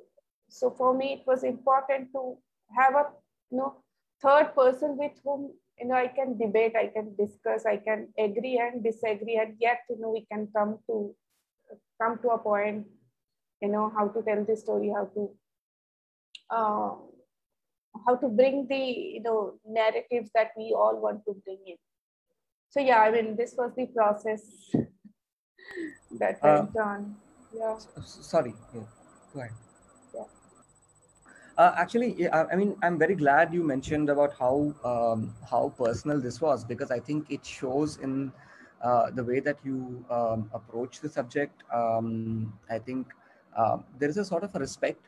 Um, you know, uh, I do not know your personal beliefs. Uh, whatever little was strewn around through the film, um, I got a sort of sense of it, but I felt like you were sort of respectful um, with the way that you approached. And I think this sort of a line that we take with respect to how um, the subject of your film uses religion, um, whether it is through belief or as a strategy. Uh, I'd like to think of it as as belief, especially because of the way that she questioned you if you, um, you know, if you offered namaz. Um, you know how she speaks to that uh, to a certain uh, section of the community and how it becomes sort of a medium it becomes a sort of a channel through which dialogue can uh, dialogue can happen. Um, and i think uh, it can be very easy to fall into the trap of rejecting uh, religion as a whole uh, you know irrespective of our beliefs i think there is a certain amount of respect that needs to be shown. And i think your film carries uh, that part. Um, and so i'm very glad that you um, um, you know are talking about how this is also sort of a you know it, you have a sort of a personal um, connection to it. Um, i'm sorry i had i had another question i kind of forgot. Um, if it comes back to me i'll i'll, I'll jump back in. Sorry. Okay. Yeah. Thank anyone- you. Thank you very much for the question. Yeah, yeah. You want to respond? Yeah, go ahead. No, I, I think I responded. Uh, Is Okay. there anything you want to ask? Uh,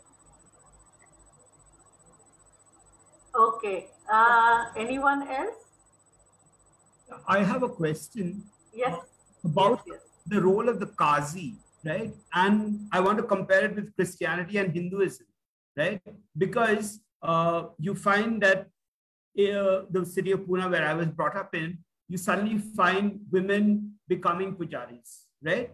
And uh, you you actually see that uh, all the upper caste uh, people who used to do these things in the past are going after the Silicon Valley, and that kind of thing happens, right? Now, the same thing happened in Christianity when you have uh, a Dalit who is made into a cardinal, when it's not a great matter of prestige anymore for people to become priests. Once upon a time, yes, it was, but now it's not, right? And then uh, that kind of gap is filled, right? But I don't know whether that kind of thing is happening over here, and I don't know whether that's fair at all. Okay, uh, whether my question is fair at all, but I think uh, uh, it's very interesting to see because the idea of uh, a priest in Christianity is supposed to be a presbyter, right? Uh, and there's a difference between a presbyter and the Qazi. Oh, it looks as if from the movie, right? It looks as if it's more as a presbyter than just a pujari, right? Yeah. So uh, yeah, I think uh, that's something I found very interesting, and that's something that struck me when I saw your film. So I don't know if my questions are fair, but I think uh, uh, it, that your film throws it up uh, and makes me think about this and saying that well, these are things that are happening uh, in India, and uh, what is the status of women? Uh, yeah, uh, and what is the status of Dalit? Right, all those kind of things. Uh, uh, your film has prompted. Thank you. Pa- Para, you want to respond? You have to unmute yourself. yeah, I mean, thank you for the question, but I would like my co-panelists uh, if they want to answer on this. Okay. Sherin, Asma, anything to say? Yeah, Um, well, uh, Yeah. Yeah, so for um, uh, Sherin can add more to this, but for as far as I know, this is historically speaking, uh, this is very much a it, it's it's lost its steam and it's been lost its way. But women qazis are historically, if you if uh, Sherin uh, spoke of a number of scholars, Fatima Mernissi and others, but they have, I mean, there is uh, history where women have been qazis, they have been judges, they have presided over judges. And even today in other countries like Indonesia, Malaysia, and other places, uh, they very much are there in the system uh, doing whatever it is that women qazis do. I mean, adjudicating, in, interpreting the law, handing out uh, interpretations, judgments, etc. So the so the functioning or the, the presence is very much has been there. In the context of India, probably this is new in terms of a national level kind of awareness. But again, as um, as uh, Sherin was mentioning in the context of Tamil Nadu and uh, the, the women's Jamaat, uh, there's it's been around for more than 10 uh, or 20 years now. And uh, this is uh, very much functioning. It's, it's, it's, and it's not just limited to issues of uh, marriage or divorce or things of that sort, but that they have, they're consciously a, a, a, group that, that goes out and intervenes in that, that area, in that region. They go out and uh, sort of take a stand and push for things in issues uh, that, that pertain to the community as a whole. So the Muslim Jamaat is very much there in Tamil Nadu. In, in the context of Andhra Pradesh, Telangana, uh, there are smaller kind of groups which take up some of these issues uh, and, and, and particularly with reference to education of Muslim women in terms of, uh, in terms of equipping them in various ways, etc. etc. So there are these small kind of uh, initiatives which happen. Uh, given the, the given the larger system, it's, it's, these are small, perhaps small moves, but they are critical moves. They're significant moves. They're, they're, they're things which are uh, making a, a, difference on the ground. Uh, about your point, uh, uh, whether this is upsetting the apple cart or whether it's sort of saying that, you know, uh, okay, so women are becoming qazis, the men will no longer, okay, we won't, we will no longer be qazis. I don't think that's happening as far as the, this community is concerned because there are, of course, contestations. And when the BMMA started this project of training women as qazis, women qazis, the, there were uh, statements from uh, various other groups which said that this is not done, this is not accepted, this is not something which uh, you know, is, is viable, is valid. Uh, of course, there's plenty of evidence to say there's nothing wrong in terms of uh, in terms of actually validity. There is no issue there, but there were contestations. So the majority of the Qazis who solemnize marriages, who preside over various kinds of other things, uh, civil issues, is still men. That has not changed much.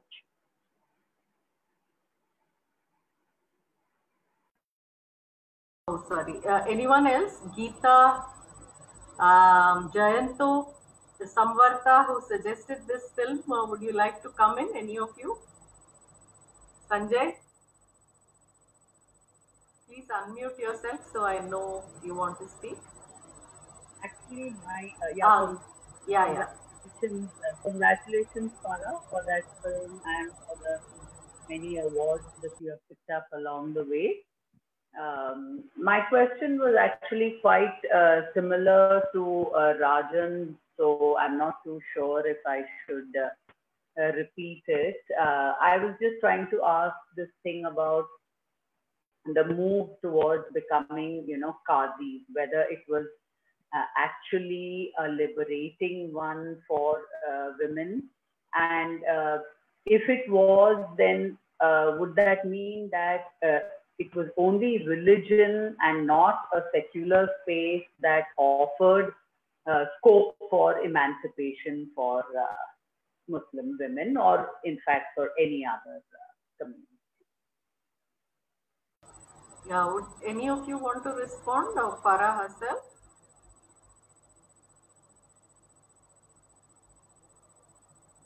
Yeah, yeah, go ahead. I mean, uh, this is a very difficult one, I would say. Uh, I don't know. I mean,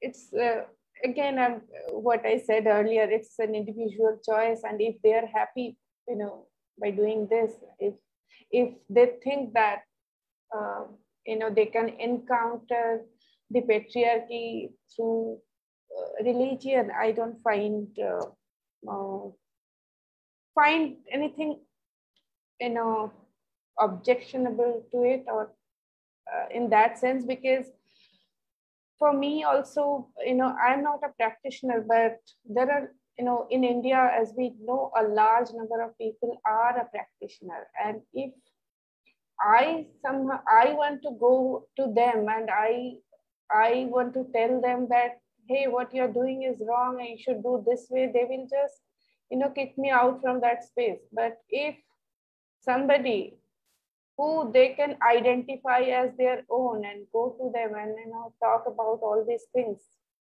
that might you know affect in a in a, a different way in a different strength. And for me that was important you know whether i personally believe in it or you know practice in it that's a different matter. But it's uh, it's uh, about a large number of people from india who strongly believes in it. And if you want to get into that uh, that zone you need to be i think one of their own first of all and yeah i'm not saying that this is the only way to do it but this can be one of the way to do it um, can i add to yeah, that yeah, Nikki? yeah, sure, sure. Um, actually, feminist theology, as uh, Asma uh, pointed out before, Gita, uh, it's quite a strong field now. And uh, um, I, I mentioned this uh, person, Amina Wadud. So Wadud's entry into the the world of uh, patriarchal Islam or whatever, like her first major contestation, her first major act was to uh, perform, lead the Friday prayer in a masjid in the United States. And that created so much of uh, controversy. But then she felt that that, that visible thing has to be done at some point to break the patriarchal uh, terrain and get into there and be out there and like you know take quran in your hands and interpret it in your own way. So so the feminist quranic exegesis that i was talking about a lot of these women are trying to explain quran but it has its own problem also. As i said it's like expecting too much of a a text which didn't have all these perspectives. When uh, X or Y or Z religion, we know most of these re religious texts are very patriarchal, and then try to bring in a feminist perspective onto it it's like too much of hard work and uh, it's like attributing something that it really was not meant for. That's that's another take on it. But to think further about like you know this whole idea of liberation whether uh, being a Qazi uh, would liberate women or not it is actually you know uh, in many ways we are all uh, most of us uh, who sit here today probably we share a larger secular um, intellectual kind of an atmosphere and uh, but that's not how our identities are like you know kind of our identities are also entangled in a whole lot of other spheres. I may not be a practicing muslim but i am somebody who has to assert or like you know, respond to my being called a muslim in different places. I mean called in the sense like i am a muslim i am a minority i am so there are so many other levels of this identity it's not just one religious spiritual kind of thing. Uh, and uh, then uh, that that's one thing. Therefore like you know when we talk in terms of liberation and liberating experience we cannot also stick to one particular version of the idea of liberation. Um, there is this wonderful like you know Saba Mahmood is one of my favorite uh, um, um, pay attention. So she has this uh, uh, example. She says, like, it is very easy for us to think of. I'm just paraphrasing her her kind of like you know uh, um, um, words. So she tries to say, uh, it's very easy for us to think of a woman who has colored her hair and who is wearing a, a short skirt and who is like you know wearing toned jeans and to think of her as a liberated feminist, but somebody who out of her her belief and spiritual inclination if she dresses herself in a burqa and comes and speaks to us it's very difficult for us to take her as a feminist so this is actually you know there is some problem in our perception of who's liberated and who's not.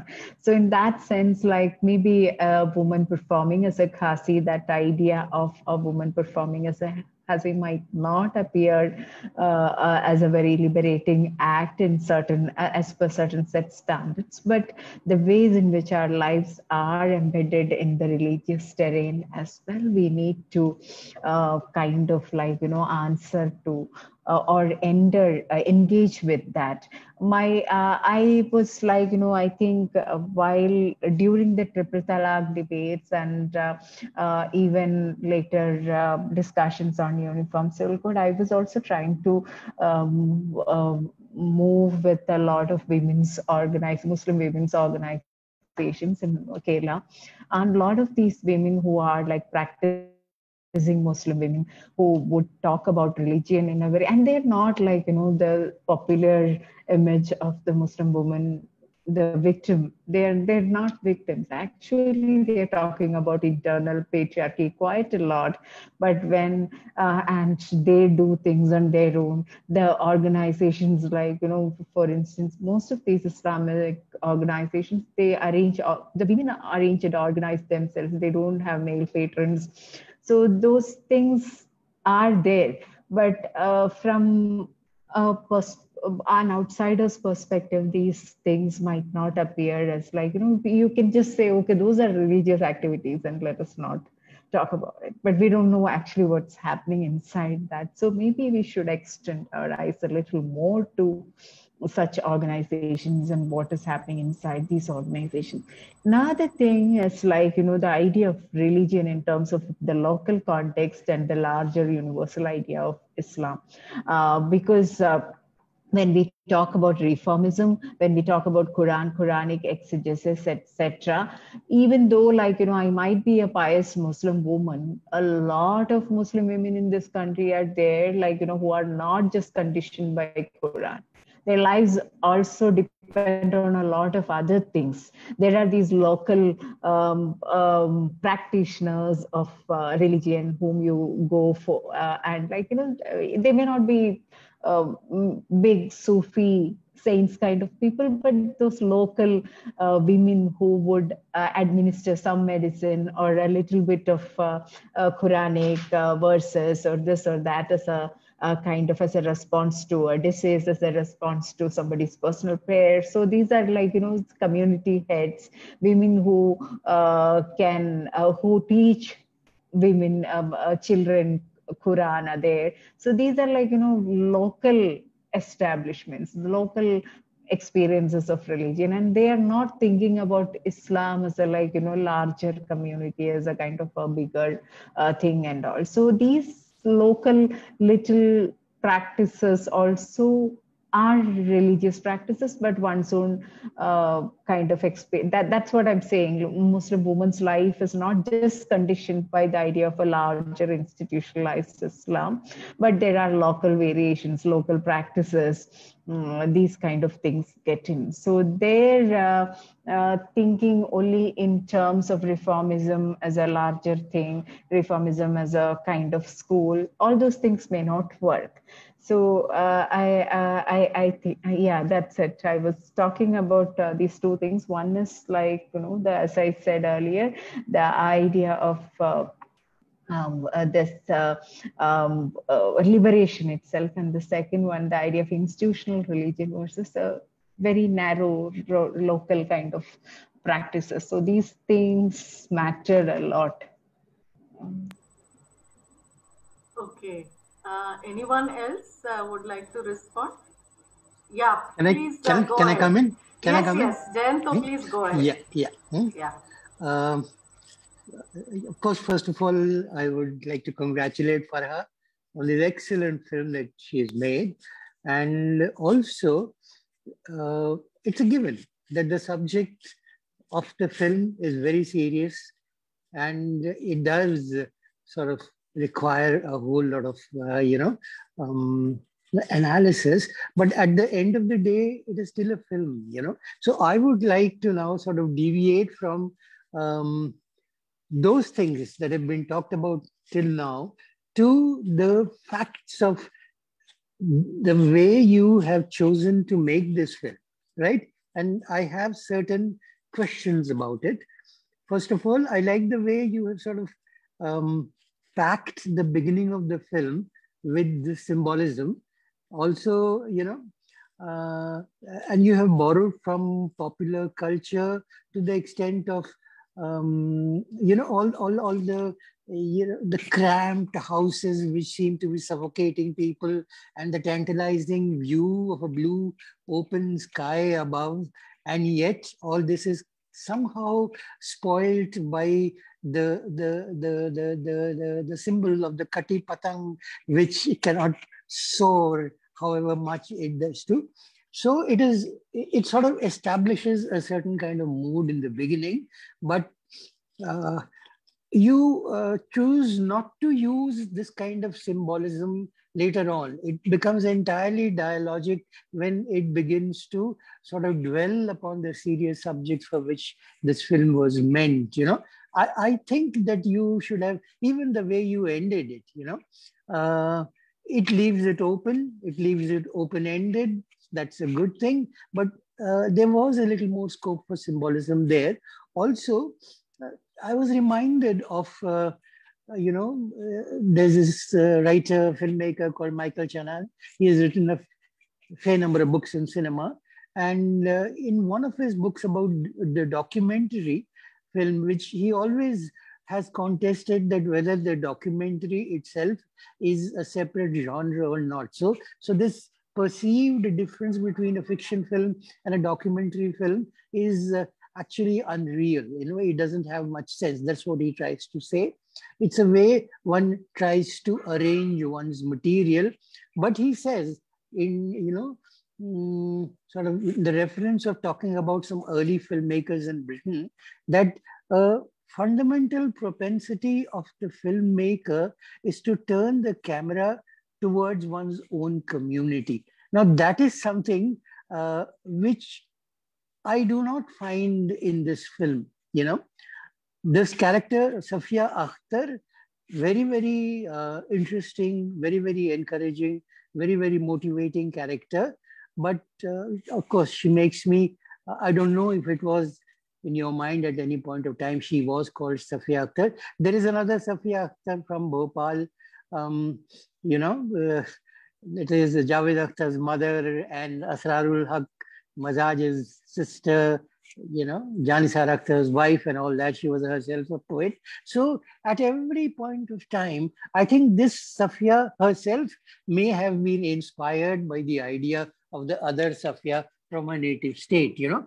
Also, um, there is this huge rally in the uh, Maidan in Kolkata where uh, they don't seem to belong to that place. Hmm.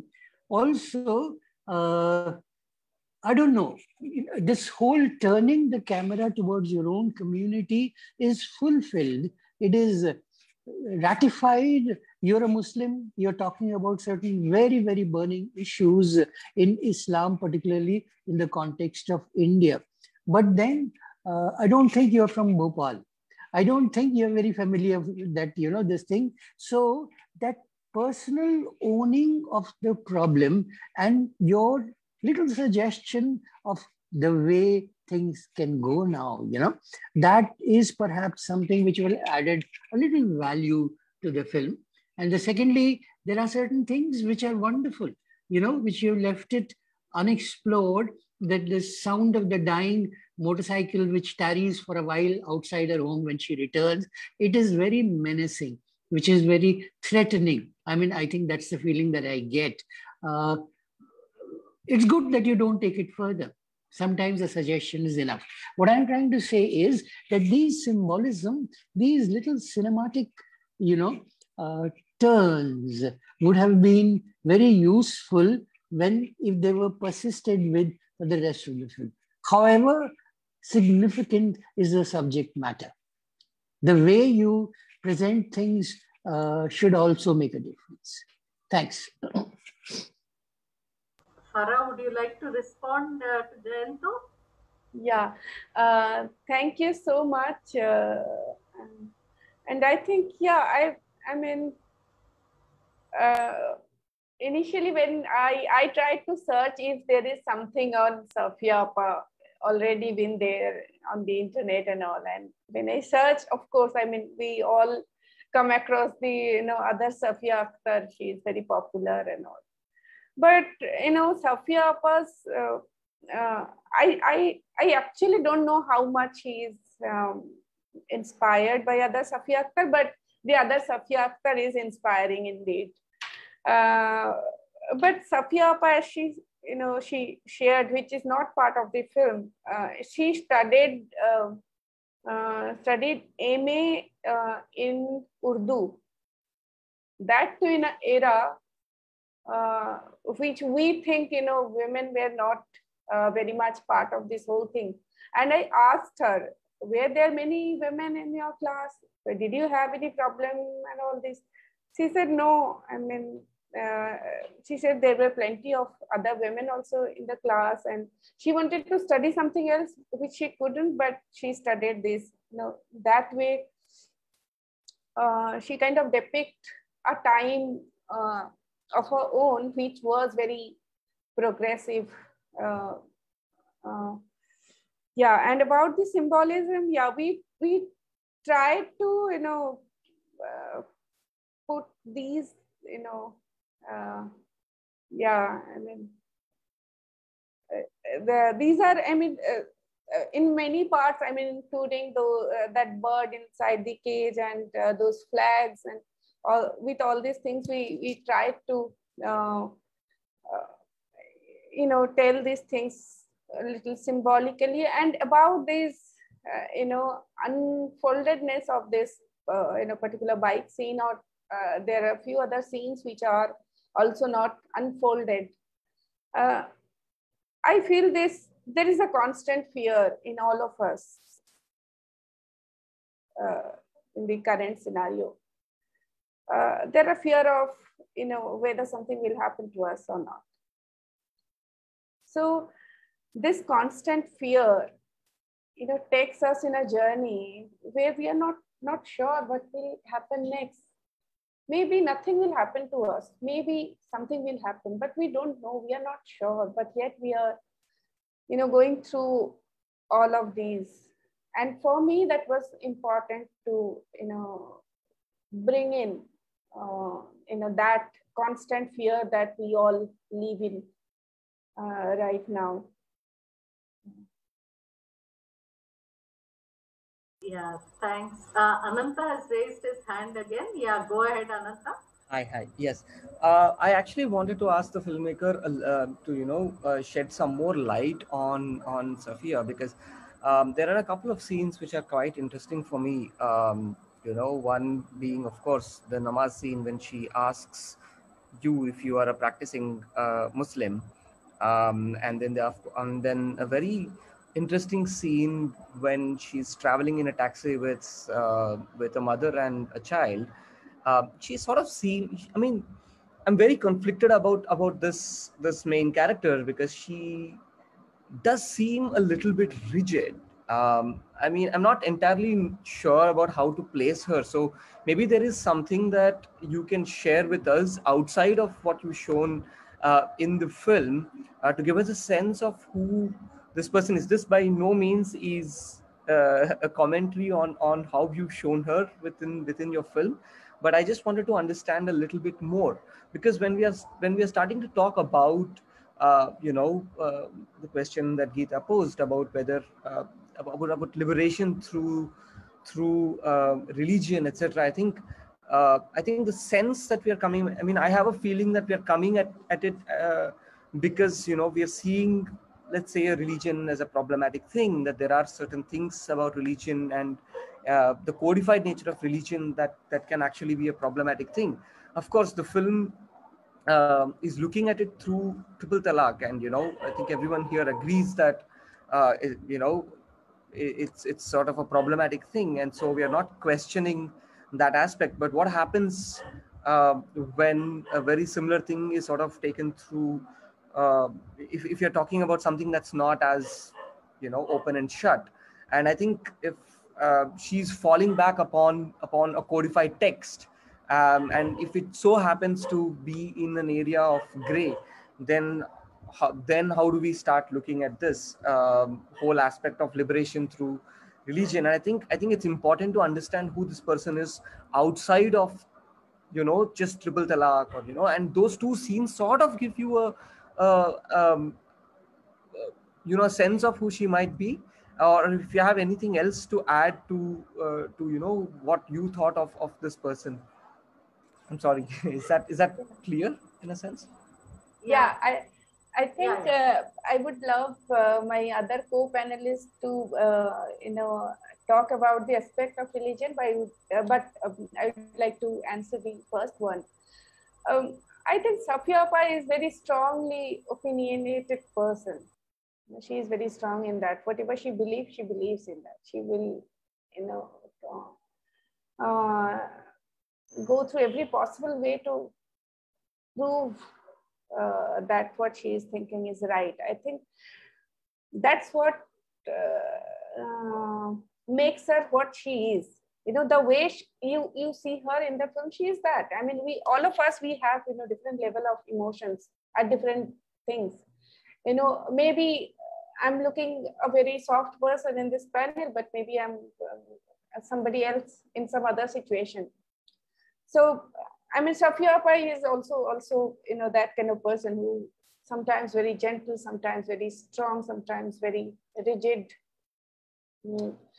And yes i think the issues she was dealing with at some point she had to uh, had she been very soft kind of person. She wouldn't have made a mark the way she did.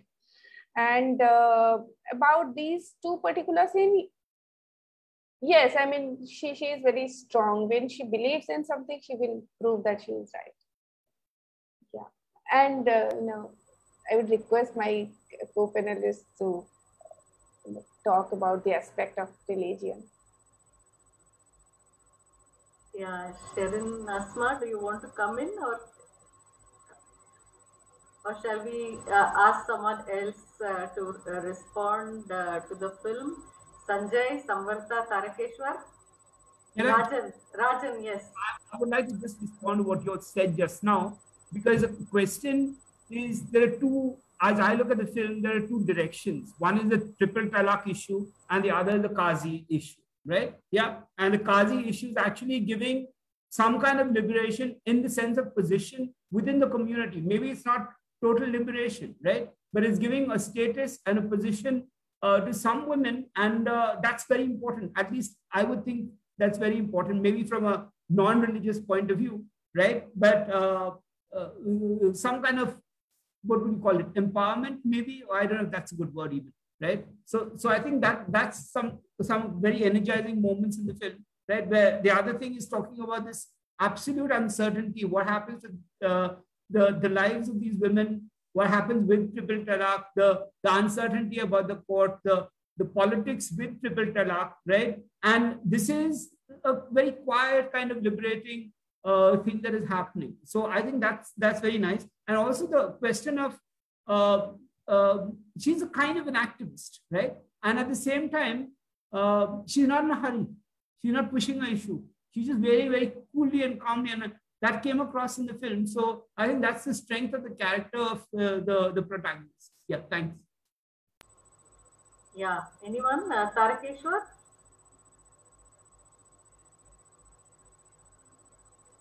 Okay. Already it's 11, uh, 11. So I don't want to test the patience of the uh, people who are still around.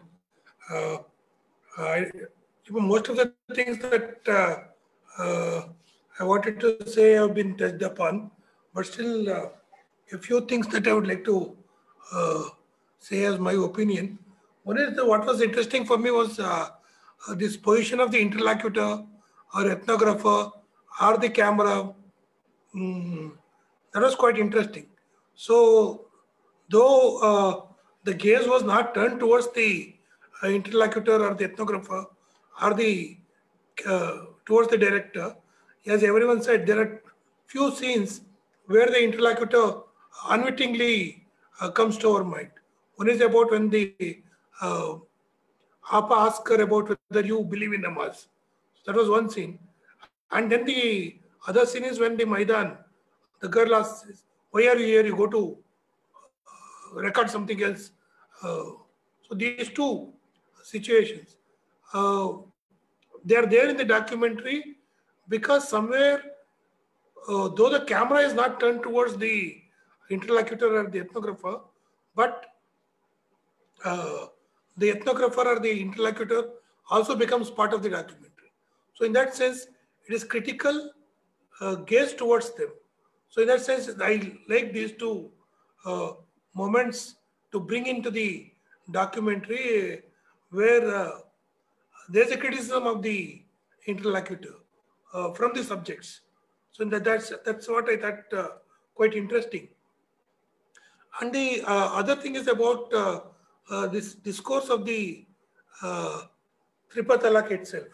So the discourse that is being circulated among the uh, women's group about triple talaq in itself or in isolation is not a problem. It becomes a problem when uh, it overlaps with the uh, the state or the dominant discourse on the issue. So that is quite uh, uh, interesting uh, when it becomes problematic. In itself or in isolation is not a problem, but when you find that uh, it shares certain uh, commonalities with the dominant discourse uh, on the triple talaq, then it becomes, or, or on the community, then it becomes a uh, problem. But I think uh, by juxtaposing the narrative in such a way, uh, this documentary is trying to make this distinction between the two. So there is this small group in the Bhopal, which is trying to address its own issues in its own way, either trying to be a qazi trying to reinterpret the Quran or translate it and make it available to it. These are the ways they are trying to cope with the uh, it, the, trip, the issue of triple talaq. Uh, and then the Supreme Court judgment is there, uh, which is the culmination of another process altogether. And then the there's a rejoice within this group too. If the documentary had stopped at that level, then the overlap between the two discourses would have been complete. Then that would have been problematic. But by bringing in the uh, the other voices about uh, the uh, debate in the parliament about that uh, law. So it is trying to uh, bring in a, dis- uh, a distinction between these two discourses. One is trying to address within the community and then put the man behind the bars. So this contrast, uh, the two solutions offered offer to the same problem. That contrast has come out because the film did not stop there. So I thought that was also uh, quite uh, uh, interesting. And another point that I wanted to uh, say was within the community too, it's a contested terrain. That has also come out uh, uh, very well. And another point about this establishing the equivalence between feminism and Islam and also uh, constitution and Islam. So how do we uh, look at the Islam now? Whether we should see it as a, a feminist uh, uh religion or whether we should see it as enshrining the values of the Indian constitution. That uh, struggle, that contestation that is happening within the community and how it gets transformed over a period of time. Uh, because the organization itself was started around 80s. Uh, 70s is the days of the women's organization. 80s this organization comes up. But now they're talking about constitution. So that was all quite interesting issues uh, that this film has brought to the fore. And I thank the uh, director, producer, and uh, the entire team uh, for allowing us to witness this documentary. Thank you. And also others who participated in the discussion. Thank you. Yeah. Would anyone want to uh, respond? Farha, uh, Sherin, Asma, would you like to respond? I just want to say it's our pleasure to be here to showcase the film, with, you know, share it with all of you. It's our absolute pleasure. Okay. Yeah. Uh, Samvartha, since uh, you had uh, suggested the film, would you like to come in and probably have the last word? no, I mean, uh, I, I mean, uh, I suggested the film because, okay, I mean, uh, I loved the film very much, and I thought, okay, I mean, more people should have the joy. I mean, share the joy along with me. Yeah, I mean, one question I mean, if uh, I'm allowed to ask over here to Farha, then Farha, the question is, see, I mean, I mean, for me, I mean, my first, I mean, I was mighty impressed when I watched the film for the first time, and I remember, I mean, I mean, giving you my immediate re- response also. But there is one question. I mean, it's it's not an easy film to make uh, because of the complexity of the whole thing see it's it's a it's a film about i mean a triple talaq that is being made in a particular political context hai and also you being a muslim and uh, that makes it even the more what to say i mean it, it, so i am more interested to know as to what are the what was the conversation that was happening between the non-practicing farha um, muslim farha the uh, Farha who has to identify herself now as a political Muslim, Farha as a woman, Farha as a filmmaker. And these these are I mean these are not very easy conversations to have within oneself. Like it's uh, actually having a panel discussion within yourself. But actually somewhere actually I mean that must have been uh, the toughest part for as as I am looking at it. And correct me if I'm wrong on that uh, so I mean, what the, what were those conversations? Because uh, they might overlap, and mm, that that clarity is, is much required, I guess. Because I mean, as uh, Asma and Sherin were saying, I mean, the whole debate around the whole triple talaq was very muddled. And what is really beautiful about your film is that okay, I mean, it actually knows which one to foreground, where to, what has to be, I mean, put on the back seat, and without actually kind of avoiding that whole thing but i mean all of that apart i mean i am more interested to know as i mean as a student of cinema i'm interested to know when you are making this. I mean in this whole creative process what was the conversation between these different identities within yourself? Yeah. I yeah, think I asked myself more than thousand times that why am I making this film? because you know, I it's quite obvious that people will ask that you are not a practicing Muslim, but yet you are showing something which uh, which is very strongly deals with the practice, the Islamic practice. So, so yeah, I mean, and again, know, all of these shades of the character, whatever you're what you're saying is, yeah, of course, you know, it sometimes it I went through sleepless nights because I had to be very careful. And my uh, Ma was always very cautious about all this. She once, um, she initially I didn't tell her. I didn't tell almost anybody except my, uh, you know, sister. She stays with me, and she obviously she knows, uh, get to know everything. So I didn't tell her because I know that you know she will be scared about all this and because she so many times she warned her uh, warned me not to you know uh, uh, deal with uh, you know anything that can uh, you know um, come back to me as a threat or something.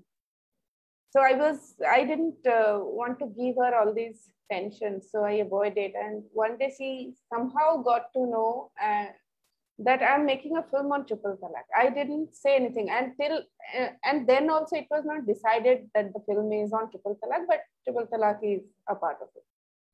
She got to know from my brother somehow, and then uh, she asked me, "Are you making a film?" I, I don't know. I mean, what to tell? I said, "No, not that way. I'm just, you know, recording. I'll see what to do." And then with that conversation, what happened, you know, slowly I started discussing with her what are the things that I'm seeing around, what are the um, incidents that I encountered and, you know, disturbed me at its depth. I started discussing with her what I uh, liked, what I didn't like, where it is it going wrong and all. And I, what happened,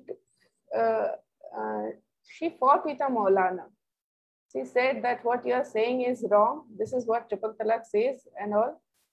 Uh, and then the fight went bigger and you know, um, at the end of it, she felt horrible and because these guys were kind, of, you know,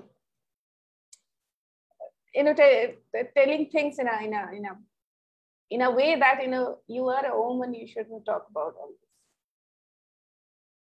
But uh, my mom that night, she called me and she told me all this. I, I felt really bad, but, um, but what I felt that if uh, my mom uh, uh, not being exposed to the world, I'm kind of exposed, but yet taking all these um, uh, not risks, I would say. I'm not getting the exact word, but you know, talking about all this in that way, that then you know, I need to you know go deeper and deeper, whatever sense I can.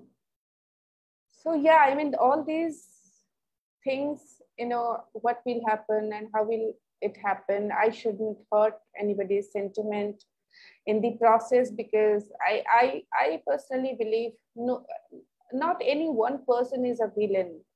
Villain is the thought process, you know, in which we try to, you know, bracket people that you are wrong, you are right and all. So, you know, all these nightmares I went through. Then there is this, uh, you know, question of being a filmmaker. Uh, you know, some people started saying you know you're looking at it from an activist point of view you're talking like an activist uh, you should talk like a filmmaker but i don't know how to how to differentiate you know these two very uh, prominently. Because at the end of it uh, i'm what i am and that will reflect no matter how uh, you know i try a thousand times to stop and to you know make a barrier in this too. But I, as a person, will anyhow, I mean, anybody, any filmmaker, their gesture will be seen in the film. Their gazes are the ultimate things that comes through dialogue, that comes through their, you know, camera positions and all these things. I think, yeah, that that happened. Those sleepless nights also happened and all. But yeah, uh, but at the end, you know, I I showed it to my parents and they liked it.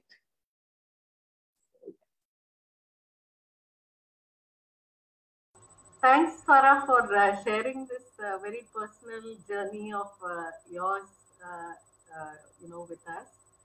Um, uh, I'll just ask, you know, Sanjay or Nikhil, um, Kalpalata, anyone, if you have anything to say, do unmute yourselves and uh, respond. Yeah, Nikhil, please yeah. go ahead. I just want to specially thank Farha for sending that film on email because I couldn't access uh, it online. And thank you so much. It was wonderful film and the discussion was awesome. Thank you so much. Our pleasure. Yeah. Anyone else? Okay.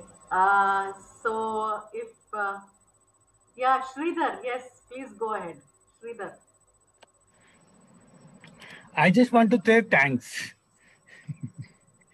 it's really, I enjoyed and uh, you know uh, the many things that were raised actually answered in the uh, panelists whatever things are raised it's all also dealing with uh, uh, uh, problem of uh, what is it called? Antinomies of pluralism.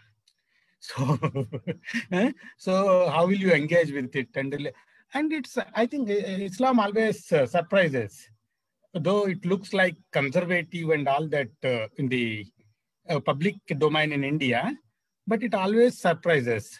See, you cannot imagine this kind of system in any other religion, Christianity or any other things uh, Qazi system or uh, the women organizing themselves. So, so many things are there. I only congratulate you for bringing really, really dynamic way.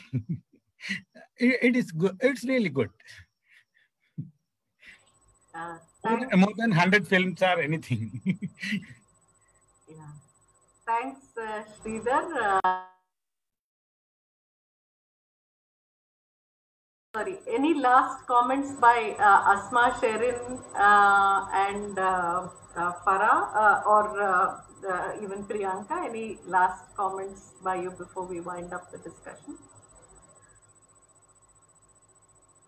Um, I just want to thank the Talking Films Online for having me. I've really, really enjoyed this conversation and uh, thank you to the, I mean, congratulations to the team for making a lovely, lovely film.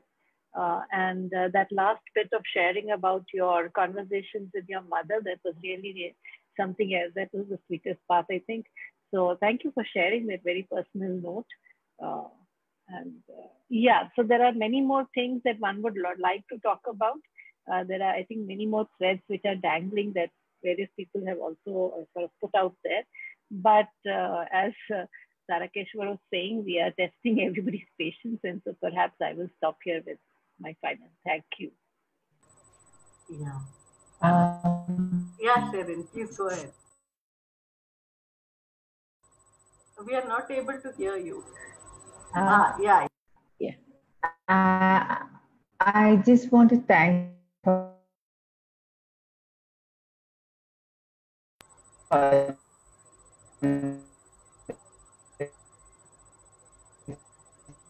you Sherin, we are not uh, able to hear thank you. Talking Films Online for this one, for this one. Oh, see.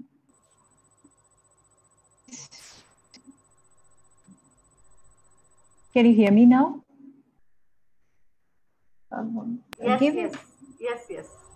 Oh, okay. Uh, So I was just saying that, uh, like, I would like to thank Talking Films Online and also thank uh, Nikhila and the rest of the uh, group for uh, the wonderful conversation. But Farha, it's a great movie. Thank you personally for sharing the experience of filmmaking also with us and those personal bits of connection you have with your film. Uh, that was quite uh, fascinating to listen to. Thank you very much for both the movie and uh, for the film and also for the discussion. Farha, you want to say uh, anything finally? I want to say big thank you to Talking Films Online, to you, to Samvartha, and everybody, all of you. You know, it was a lovely conversation. I would definitely would love to be in touch with all of you, and uh, especially uh, Asma and Sherin. You uh, enlightened me, uh, you know, with your thoughts, and all of you, you know, with your thoughts. It was really, really nice being here. I really enjoyed. Thank you very much. yeah, Priyanka. Yeah, go ahead, Priyanka. Yes, thank you so, so much for watching our film. It's a great pleasure for us to show films to uh, such uh, awesome people out here and who can talk about it. And the discussion went off so well. Like, I'm not a very good speaker, but the way I was listening and the points that you took out was was really interesting and the way even the small things that a filmmaker points out but uh, and when we think about it it it's it's and you guys pick it up. It's it's really we feel really happy that yes they have understood why we have done this. So it feels really happy uh, to have these kind of discussions and conversations. And thank you uh, to this platform uh, talking films online and nikhila and samvartha. Asma and sherin thank you so much for your uh, inputs and your discussion. It uh, it really makes us happy Uh, Yeah, thank- just one one point, Nikhil. Yes, Samvartha. Yeah, go ahead. Uh, I have said this uh, in other places, and uh, I mean to Priyanka personally also. uh, I think it's, uh, I mean, as much as uh, I, I would congratulate Farha for making the film, I think the credit also, I mean, has to go to for Priyanka for actually kind of backing a film like this, that too at this kind of time. So Priyanka, I mean, uh, I mean, I will not let go of any opportunity to actually kind of uh, say this again and again. But yeah, I mean, it was really, I mean, what to say? I mean, thanks for backing a film I like this. Yeah. no, I feel fortunate enough to be a part of this film. It means a lot to me.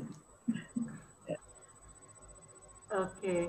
Uh, so it's been a long uh, evening. Uh, thank you all for uh, persisting, for staying. Uh, I mean, it's almost been like, you know, two and a half hours, and it's been a really engaged discussion on a very, very important issue.